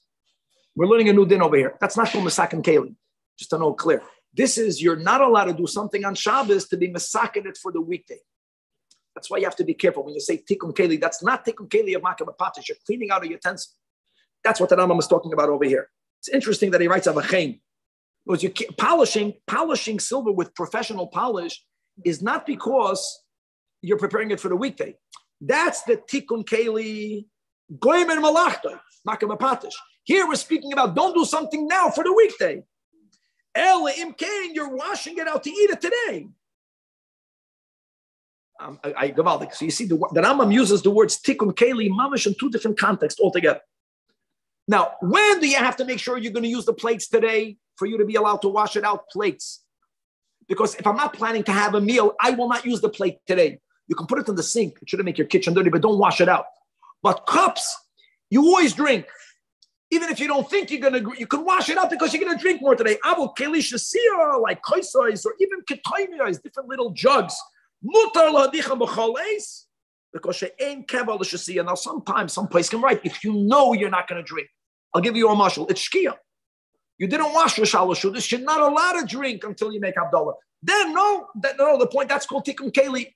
That's called tikkun l'tzayda Good. The aim tikkun l'tzayda also means don't make your beds on Shabbos from a Shabbos. But you are allowed to make your bed Friday night when you wake up, when you're Friday night, when you wake up Shabbos morning, if you're going to take a Shabbos shluf. No, you, you are allowed to prepare it only for Shabbos itself. That's not called tikkun l'tzayda Halacha ches. Wow, we have another nice amount of 20 halachas to go l'chayin tzvika. It's good we started at 5 and not 520. Guys, we need joy over here. Kalim tmeim b'Shabbos. When you are fixing something but not discernible to the eye, that means you're fixing it because you are removing a biblical, non-tangible problem. Something is tummy, and you're toiveling it. You're not allowed to do it because you're masakin keli. What about a person? Abul adam tame muter lit muter lit. Well, are ah, you masakin? Look at the Rambam's logic. Why? Kasha. The answer is because since people are allowed to go into a body of water, again, we're not following our minute that we don't do that in a bath. I'm not talking about showering, which is okay talking about taking a cold bath. We don't do a cold bath on Shabbos because of a minute. They took a cold bath, and I'm on took cold baths. So since it looks like you're taking, you're going into water to cool off, which is something that's allowed, even though you're really going into it to toivel. We're not speaking about hot nicholas here at all. Then you're allowed to do it. However, you may not have the waters of the of the afarapara sprinkled on you on Shabbos, right? Nor nor to be matbal kalim Shabbos. You don't have to cool off kalim on Shabbos. And if you did it b'shoige yishtamish b'hem, if you did it b'mezid, imagine you may not use it until Motzei Shabbos. Next, um, Toivel and Kalim is, uh, you know, the din of um, on by Goyim, Tumas Akum. Now, there's one food and liquid item, the only one that if it becomes tummy, you can travel, and that's water. If you're doing what we call hajaka zriya, was if I have water that's tummy and it's clean water, and I don't have other clean water, I need to drink, so and it's tummy, and I don't want to drink tummy water, midrabanan, if you drink tummy uh, a certain amount, you become a sheni. I'm a kain. I want to be able to eat truma. Let's say. So what you do is you, you put the water down in the mikveh. The moment the moment the waters of the mikveh touches the waters, which is all the way on top of the keli, there's very little mixture. You bring it back up. Hashraka Zriya, that's the way, that you are allowed to do. Now, uh, another issue. If the waters are coming, you put it into a keli, what's the din midrabanan? Right, waters will make the keli a tchila. The waters are a tchila. It's going to make a, and I don't. I don't. What's the problem if the keli becomes tummy? You're taking it into the mikveh. You can't be metired keli on Shabbos. So how do you bechlal toivel waters when the when you're toiveling the keli? You use a keli that's not makabel tuma, like clay avonim. And then, as long as you put it down in the water, that all of the waters of the sides touches it, then you taharu. Halacha nine, You may not remove trumusumaisis because neither can the misaken davar shloyim sukkah. Halacha 10. We're going to come back to that soon. Ma'abe processing leather is ma'avas malachisu. That was Pedicure Aleph. And similarly, Vamaracha chayr b'shemen, softening a hide with oil, kederech sho abdonim oisim, you're violating a ma'abe, even though you're using shemen. Now we learned before you can put on oil, but hold on. If I'm wearing brand new leather shoes and I'm going to put oil on my shoe, when my shoe is in the shoe, when my foot is in the shoe, if I'm oiling my foot, I'm oiling the brand new leather shoe. That's ma'abed. But I can put oil first on my foot, and then I can put on my shoe, or then I can put on my sandal, even though they're new. Furthermore, I can put ointment, I can put oil, not ointment, oil on all of my body, and I can roll on this type of kadavla, this type of leather utensil. Even though when I roll on it, I'm getting some of the oil on the kadavla. But that I'm allowed to do it is only if I'm putting on a little bit of oil. So it's making the shoes moist, but it's not making it wet. Right. However, know, I'm making it, I'm making it, I'm making it slightly slippery. That's when it is okay that when me rolling on the kadavla or me putting my foot down in the shoe, it's mamish, making it soft, that's also because I'm doing my avid. All of the Isra is only if you're wearing brand new shoes, but old leather shoes, they don't need to be uh, ma'abed. They don't need to be uh, more, uh, made it wet with oil, and therefore it's mutter. Even when your foot is in the shoe, you can put oil. Allah Yudalef, Hamim rubbing ointment, chayav, because you're moichet the oil, you were softening the oil. Now, does it mean you're softening your skin or it means you're softening the ointment, but you're doing the bimoreh? You cannot plug a hole with wax. Shema yimoreya. Wow. What you're going to make the wax, you're going to you're going to make the wax completely liquidy. Of beshuman, which is already not as thick as wax, also may not be used to be How, guys, we're not speaking about, we learned in the previous chapter, don't confuse that with that you have a keli filled with food. We're not talking about that. Okay, halacha yud beis koites mavis malacha is writing koiset. Look how many things are also because of b'chayotzavay. So we learned before that a woman cannot put on rouge. Why? Soiveya. What about putting this red, this uh, blue eye makeup? Putting on eye makeup, it was done, it was a liner. That's writing. And if you remember when we learned Hilchas Ksiva, we learned about making designs. She, she cannot put this, this liner around her eye. The Why can't you put on lipstick? Either it's tzivia or that other lipstick that you make, they, they line it. And it's like it's a pen. And now, now look how look how far we take this Gezeda Shema Yichlev. You cannot lend money, you cannot borrow money. You know why? Because you might document that. Also, you can't buy and sell. You cannot rent whichever, whether you're the renter or the rentee. Shema yichtoiv. You cannot hire workers. You cannot tell your friend to hire workers. You know what you could do? You can lend and borrow an item. That's allowed because since the uh, same item will be returned, you know your item. It's the least problematic. You're not going to write. You don't need to write it. You are allowed to borrow. Don't say the word halveni. You know, it's anything that's done for a very short amount of time.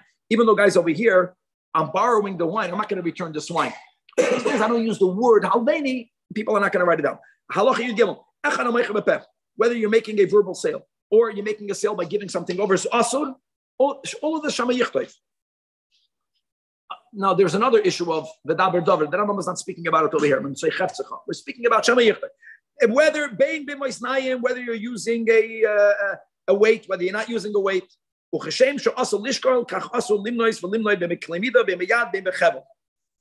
to learn Yontif later. Now we're learning Hilchah Shabbos. Halacha Yudala. Ain't done on the Shabbos. You cannot adjudicate a case on Shabbos because whenever a din Torah finishes the din, they write it down. Beloy cholzin, you can't do it. You, the Basin cannot officiate chalitza. They cannot officiate an act of yibum. You cannot do the hareyat nikodeshiously. The people that got married before Shabbos, out of Shabbos, they would do it right before Shabbos. The Su'udah would be on Shabbos, but the act of Kedushin was done that of Shabbos. Even though what, what are you writing? You might write down the Shtar Kedushin, you might write down the Ksuba. Another din, the Ein Magdishin consecrating all different types of consecrations may not be done because since it's like Mekachom Nimkar, which means Shema Yichtoiv, my friends. Even though Amirasi Legevoya, Kimisi Rasi Lehedyet, that's that's the Kenyan, you still might write it down. Another thing, the aim might be in Trumos You cannot separate Trumos Why? Because it's like being Magdashit. What's the bomb question? Now the Rambam writes himself, it's like you're Masakin Keli. Didn't the Rambam already write you can't do it because you're Masakin on Shabbos? So let me tell you how people answer it. That Trumas Chutz La'aretz, you are allowed to eat it and then be mafresh it. Trumas Chutz La'aretz, I'm really allowed to eat it as long as I make sure that I'm going to let the end for the hafrash. So here, don't tell me that being mafresh is misakin edeni because I could have eaten it without being mafresh. It's only truma midrabanan. Still don't do it. That's why the Rambam has to write it because the act of separating trumas from is like it's like an act of being magdashit to God. The every tenth animal, because you might smear the animal with red ink on Shabbos, which is what's normally done. There are exceptions. You can be magdish an animal for your Korban Pesach on Shabbos because you have to do it now. Likewise, the Korban Chagig on Yontif, Shazu hayoim. The only Yisr is midrabanan. Here you have to do the mitzvah. You cannot make mechatas. Halacha tezvav. If you did separate Tromos if you did it b'shoigeg, then you can eat what you did. If you did it b'mezid, you may not eat until Motzei Shabbos. We don't say that since you did something be'isur, it's not effective. It was effective. To God, same thing. Oh, here, what you did was did. It's hegdish and you give it to God. If you made a business transaction on Shabbos, even though you did it b'mezid, you shouldn't have done it. It's effective the backing, the party that wants to back out cannot say, well, it was done on Shabbos. It's effective. Now, the Mai is only suffix whether it's mu'usir or not. And you can do it ben hashmashas. Why? Shuki doubled out. Aleph, maybe it was mu'usir. Number two, maybe ben hashmashas is still the weekday. But you cannot be ma'asir vaday ben hashmashas because that's only one suffix. The imloy eruv, also, if you did not make an eruv, no, I, I think I skipped the whole page. I skipped the whole page. Halacha Zayin. Everyone is going to learn today's Rambam, or at least a little part of it. We're almost there. Me shekara shem l'truma ma'is shoulder. Me l'truma. My guys, just to know that normally when you separate it truma ma'is, you would actually separate it and give it to the recipient. That's the halach But when a person had the mai, and the din of the mai is, we're going to learn more details later. Even though you have to separate some of the trumas or you don't even have to give all of it away. You separate the trumas, the, the meiser, you don't even have to give it to the Levi because that you say for that all But then you have to separate the truma of the truma. Now, there, sometimes people just made the declaration. This is going to be the truma of the meiser. And sometimes people did not give it to the recipient. That's what happened. Or meiser ani, a vadai. Sometimes you didn't yet give it to the ani. Don't give it to him on Shabbos. So you can argue you're not doing anything wrong. It was already designated. Don't give it to him. You do him You know why? It's called ket misaken keli. But if you have a coin or an ani that's eating by you, they can, they can come and eat from it because it was already designated for the coin. It was already designated for the ani. You're not taking it to him. But there's another caveat. The caveat is when you invite a guest, it's like tricking a person. When you invite a guest, inviting a guest means that the guest is eating from your shulchan. Imagine if I have my house Meiser Ani, and I'm now the big knacker, I'm going into shulchan, I'm inviting the Aniyim.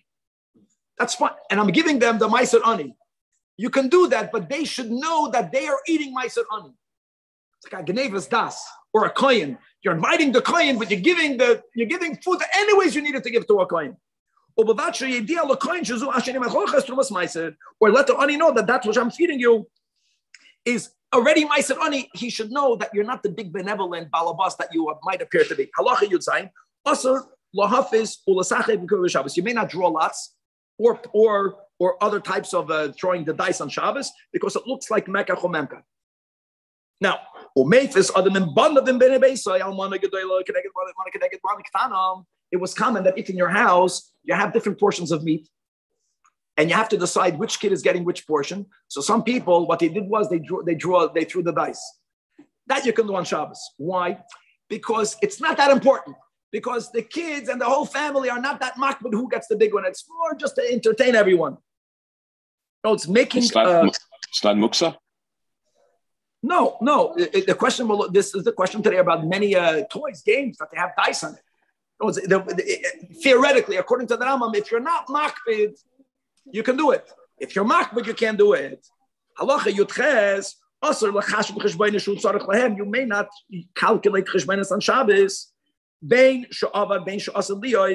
whether it's something that happened or whether what you need to do, why can't you make these calculations, which is not mitzvah related, because you might write it down. However, if there's no tzedek, you start making calculations, you're allowed to do it, but it's a chaval azman. Like, for example, Ketzad, a person wants to know, how much, um, what was our GDP of three years ago? You stop wasting time. How much did we spend on our son's wedding? Now, that's Sicha Betela. There's no tzedek, you're not going to write it down. And I'm a machashev oisim b'Shabbos k'machashev b'chol. The Rambam is hinting you're not violating Hashem yichtoiv, but don't do this. He's really saying don't waste your time. Asur likreis halacha yutes. Guys, I'm happy you're all over here. You're not allowed to read any shitrei b'Shabbos. The only thing you can read on Shabbos is Tanakh and Torah Shabbal Peh. That's it. And not even not even all of Tanakh, as we'll see. You can't read anything else. And what's the issue? The issue is, is when you read a document and you don't like what it says, you know what they did then? They erased it.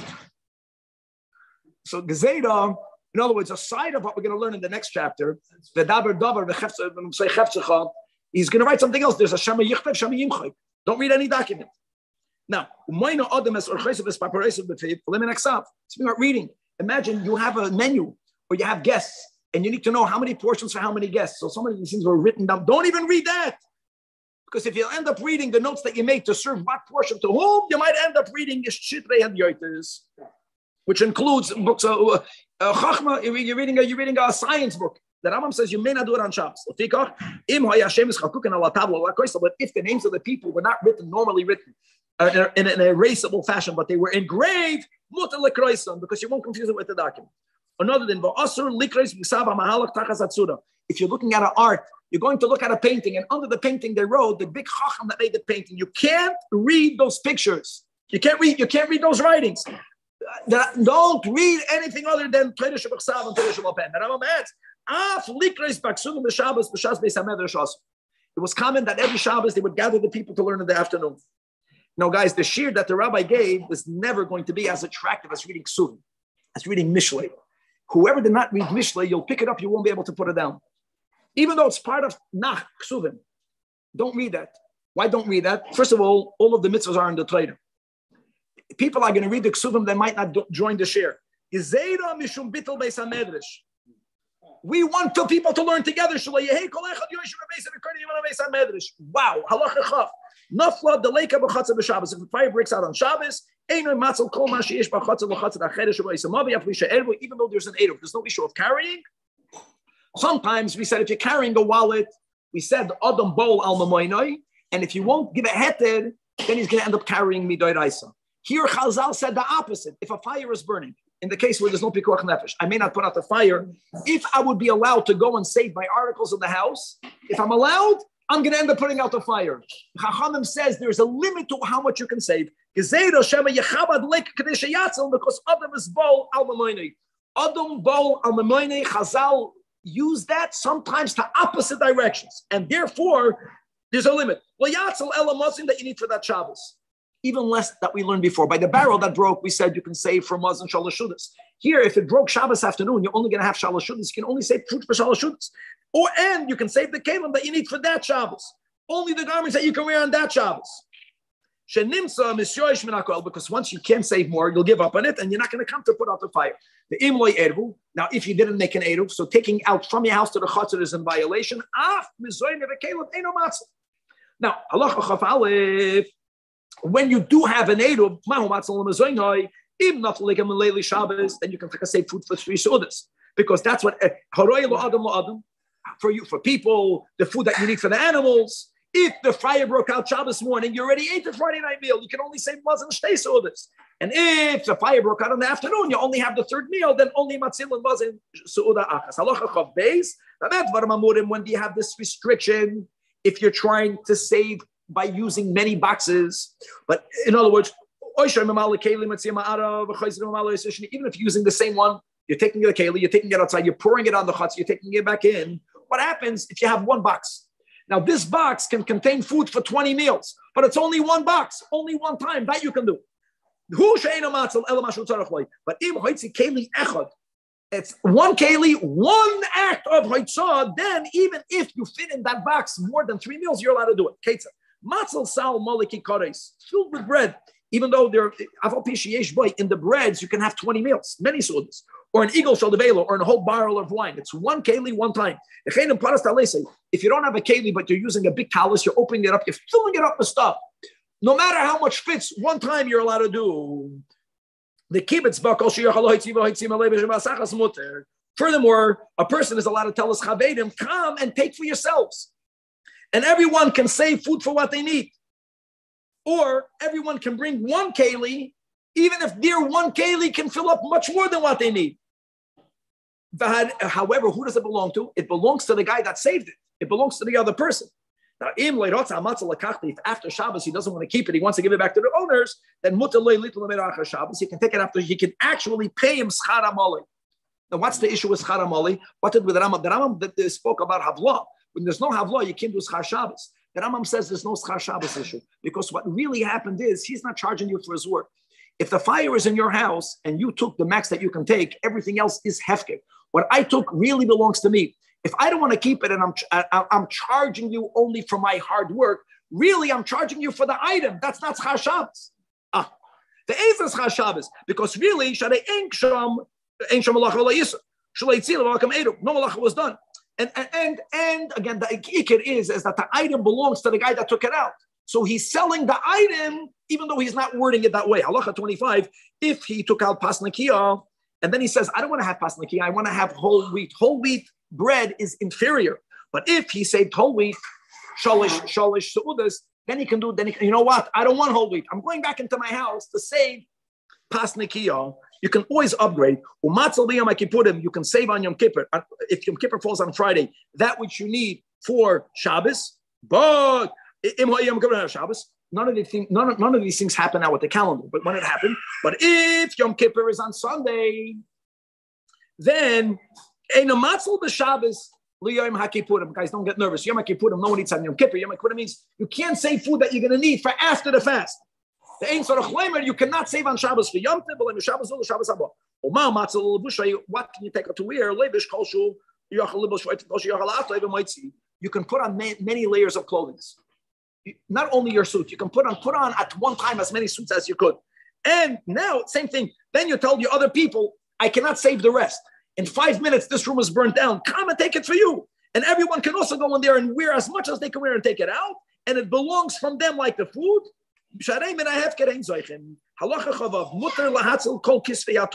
Tanakh, that's in that yard. And there's a fire, you can save it. And here, even more, even if there's no Eruv because you're saving Tanakh from being burnt. As long as it should be physically enclosed with the, with the three mechitzas and a lechi. You understand? And the issue was only that we didn't make a shituf that we didn't learn about yet. That overrides, and you can save it because you're saving Tanakh. What is holy? Only ksavashuris that was written b'lashon hakodesh. If you had scripture written in another language, or written in another alphabet, even if there is an Eruv. It's not that holy. And during the weekdays, Bechlal, you're not allowed to read in such a scripture. We don't know who wrote it, right? We don't know who wrote it. So then you, you have to put it in a place where it's going to get, where it's going to decompose. If you had Tanakh, but it was written in a ink, that's uh, not the, Yoi or in red Reading, so you would argue it's not that holy. You're not, you cannot read from it in the in the in the in the Beis Hamedrash. You, are not yoy to the mitzvah of reading, but since it's written in keep in the holy tongue and in the script called Ksavashuri, then you have to save it. Now, what about Hagilion Shal If you have blank pieces of parchment, now, guys, obviously the parchment that's in the Sefer Torah, that if it's attached, it's part of it. But someone cut it out from before Shabbos, so it's detached already. Even though it's already cut off, and not since it's already cut off, you would argue it has kedusha. You can't. Since it's cut off, it doesn't have that amount of kedusha. Habrachas, which what we call today a siddur. So they had brachas written on papers, or a kameya, even though they're God's holy names, and on it is written Mayana Shal Ein Matzil Guys, the final halacha today is the longest Rambam ever. Halacha Chavches Sefer Torah that is very uh, used out. But if you can gather from the whole Sefer Torah, 85 letters but every letter has to be in a word that's complete. And that includes the letters in the Torah that are already written in Aramaic, like the words Yigar Sahadusa by Yaakov Avin. Then you can still save it. But if you have an entire parsha, which means an entire book, Vayibin Asaya Arin has 85 Oisias. If that Vayibin Asaya Arin was, some of that was erased. Some of that was erased. But since you have God's holy name written in it, then you can save it from the fire. Now, how did he come up with 85? Go count it. Uh, no, you were even though by Yehib and and some of it was erased, since it's a whole parsha and there's God's name, you can save it. Once you can save a Sefer Torah, you can save it in the case. Same thing with tefillin. You can save tefillin, you can save it in the bag, even though there are money in the bag, because the monies are buckled to the tick, and therefore you are allowed to be matzalit, even if there's no edu, no shituv, Ah, thank you, Rabbi Thank you.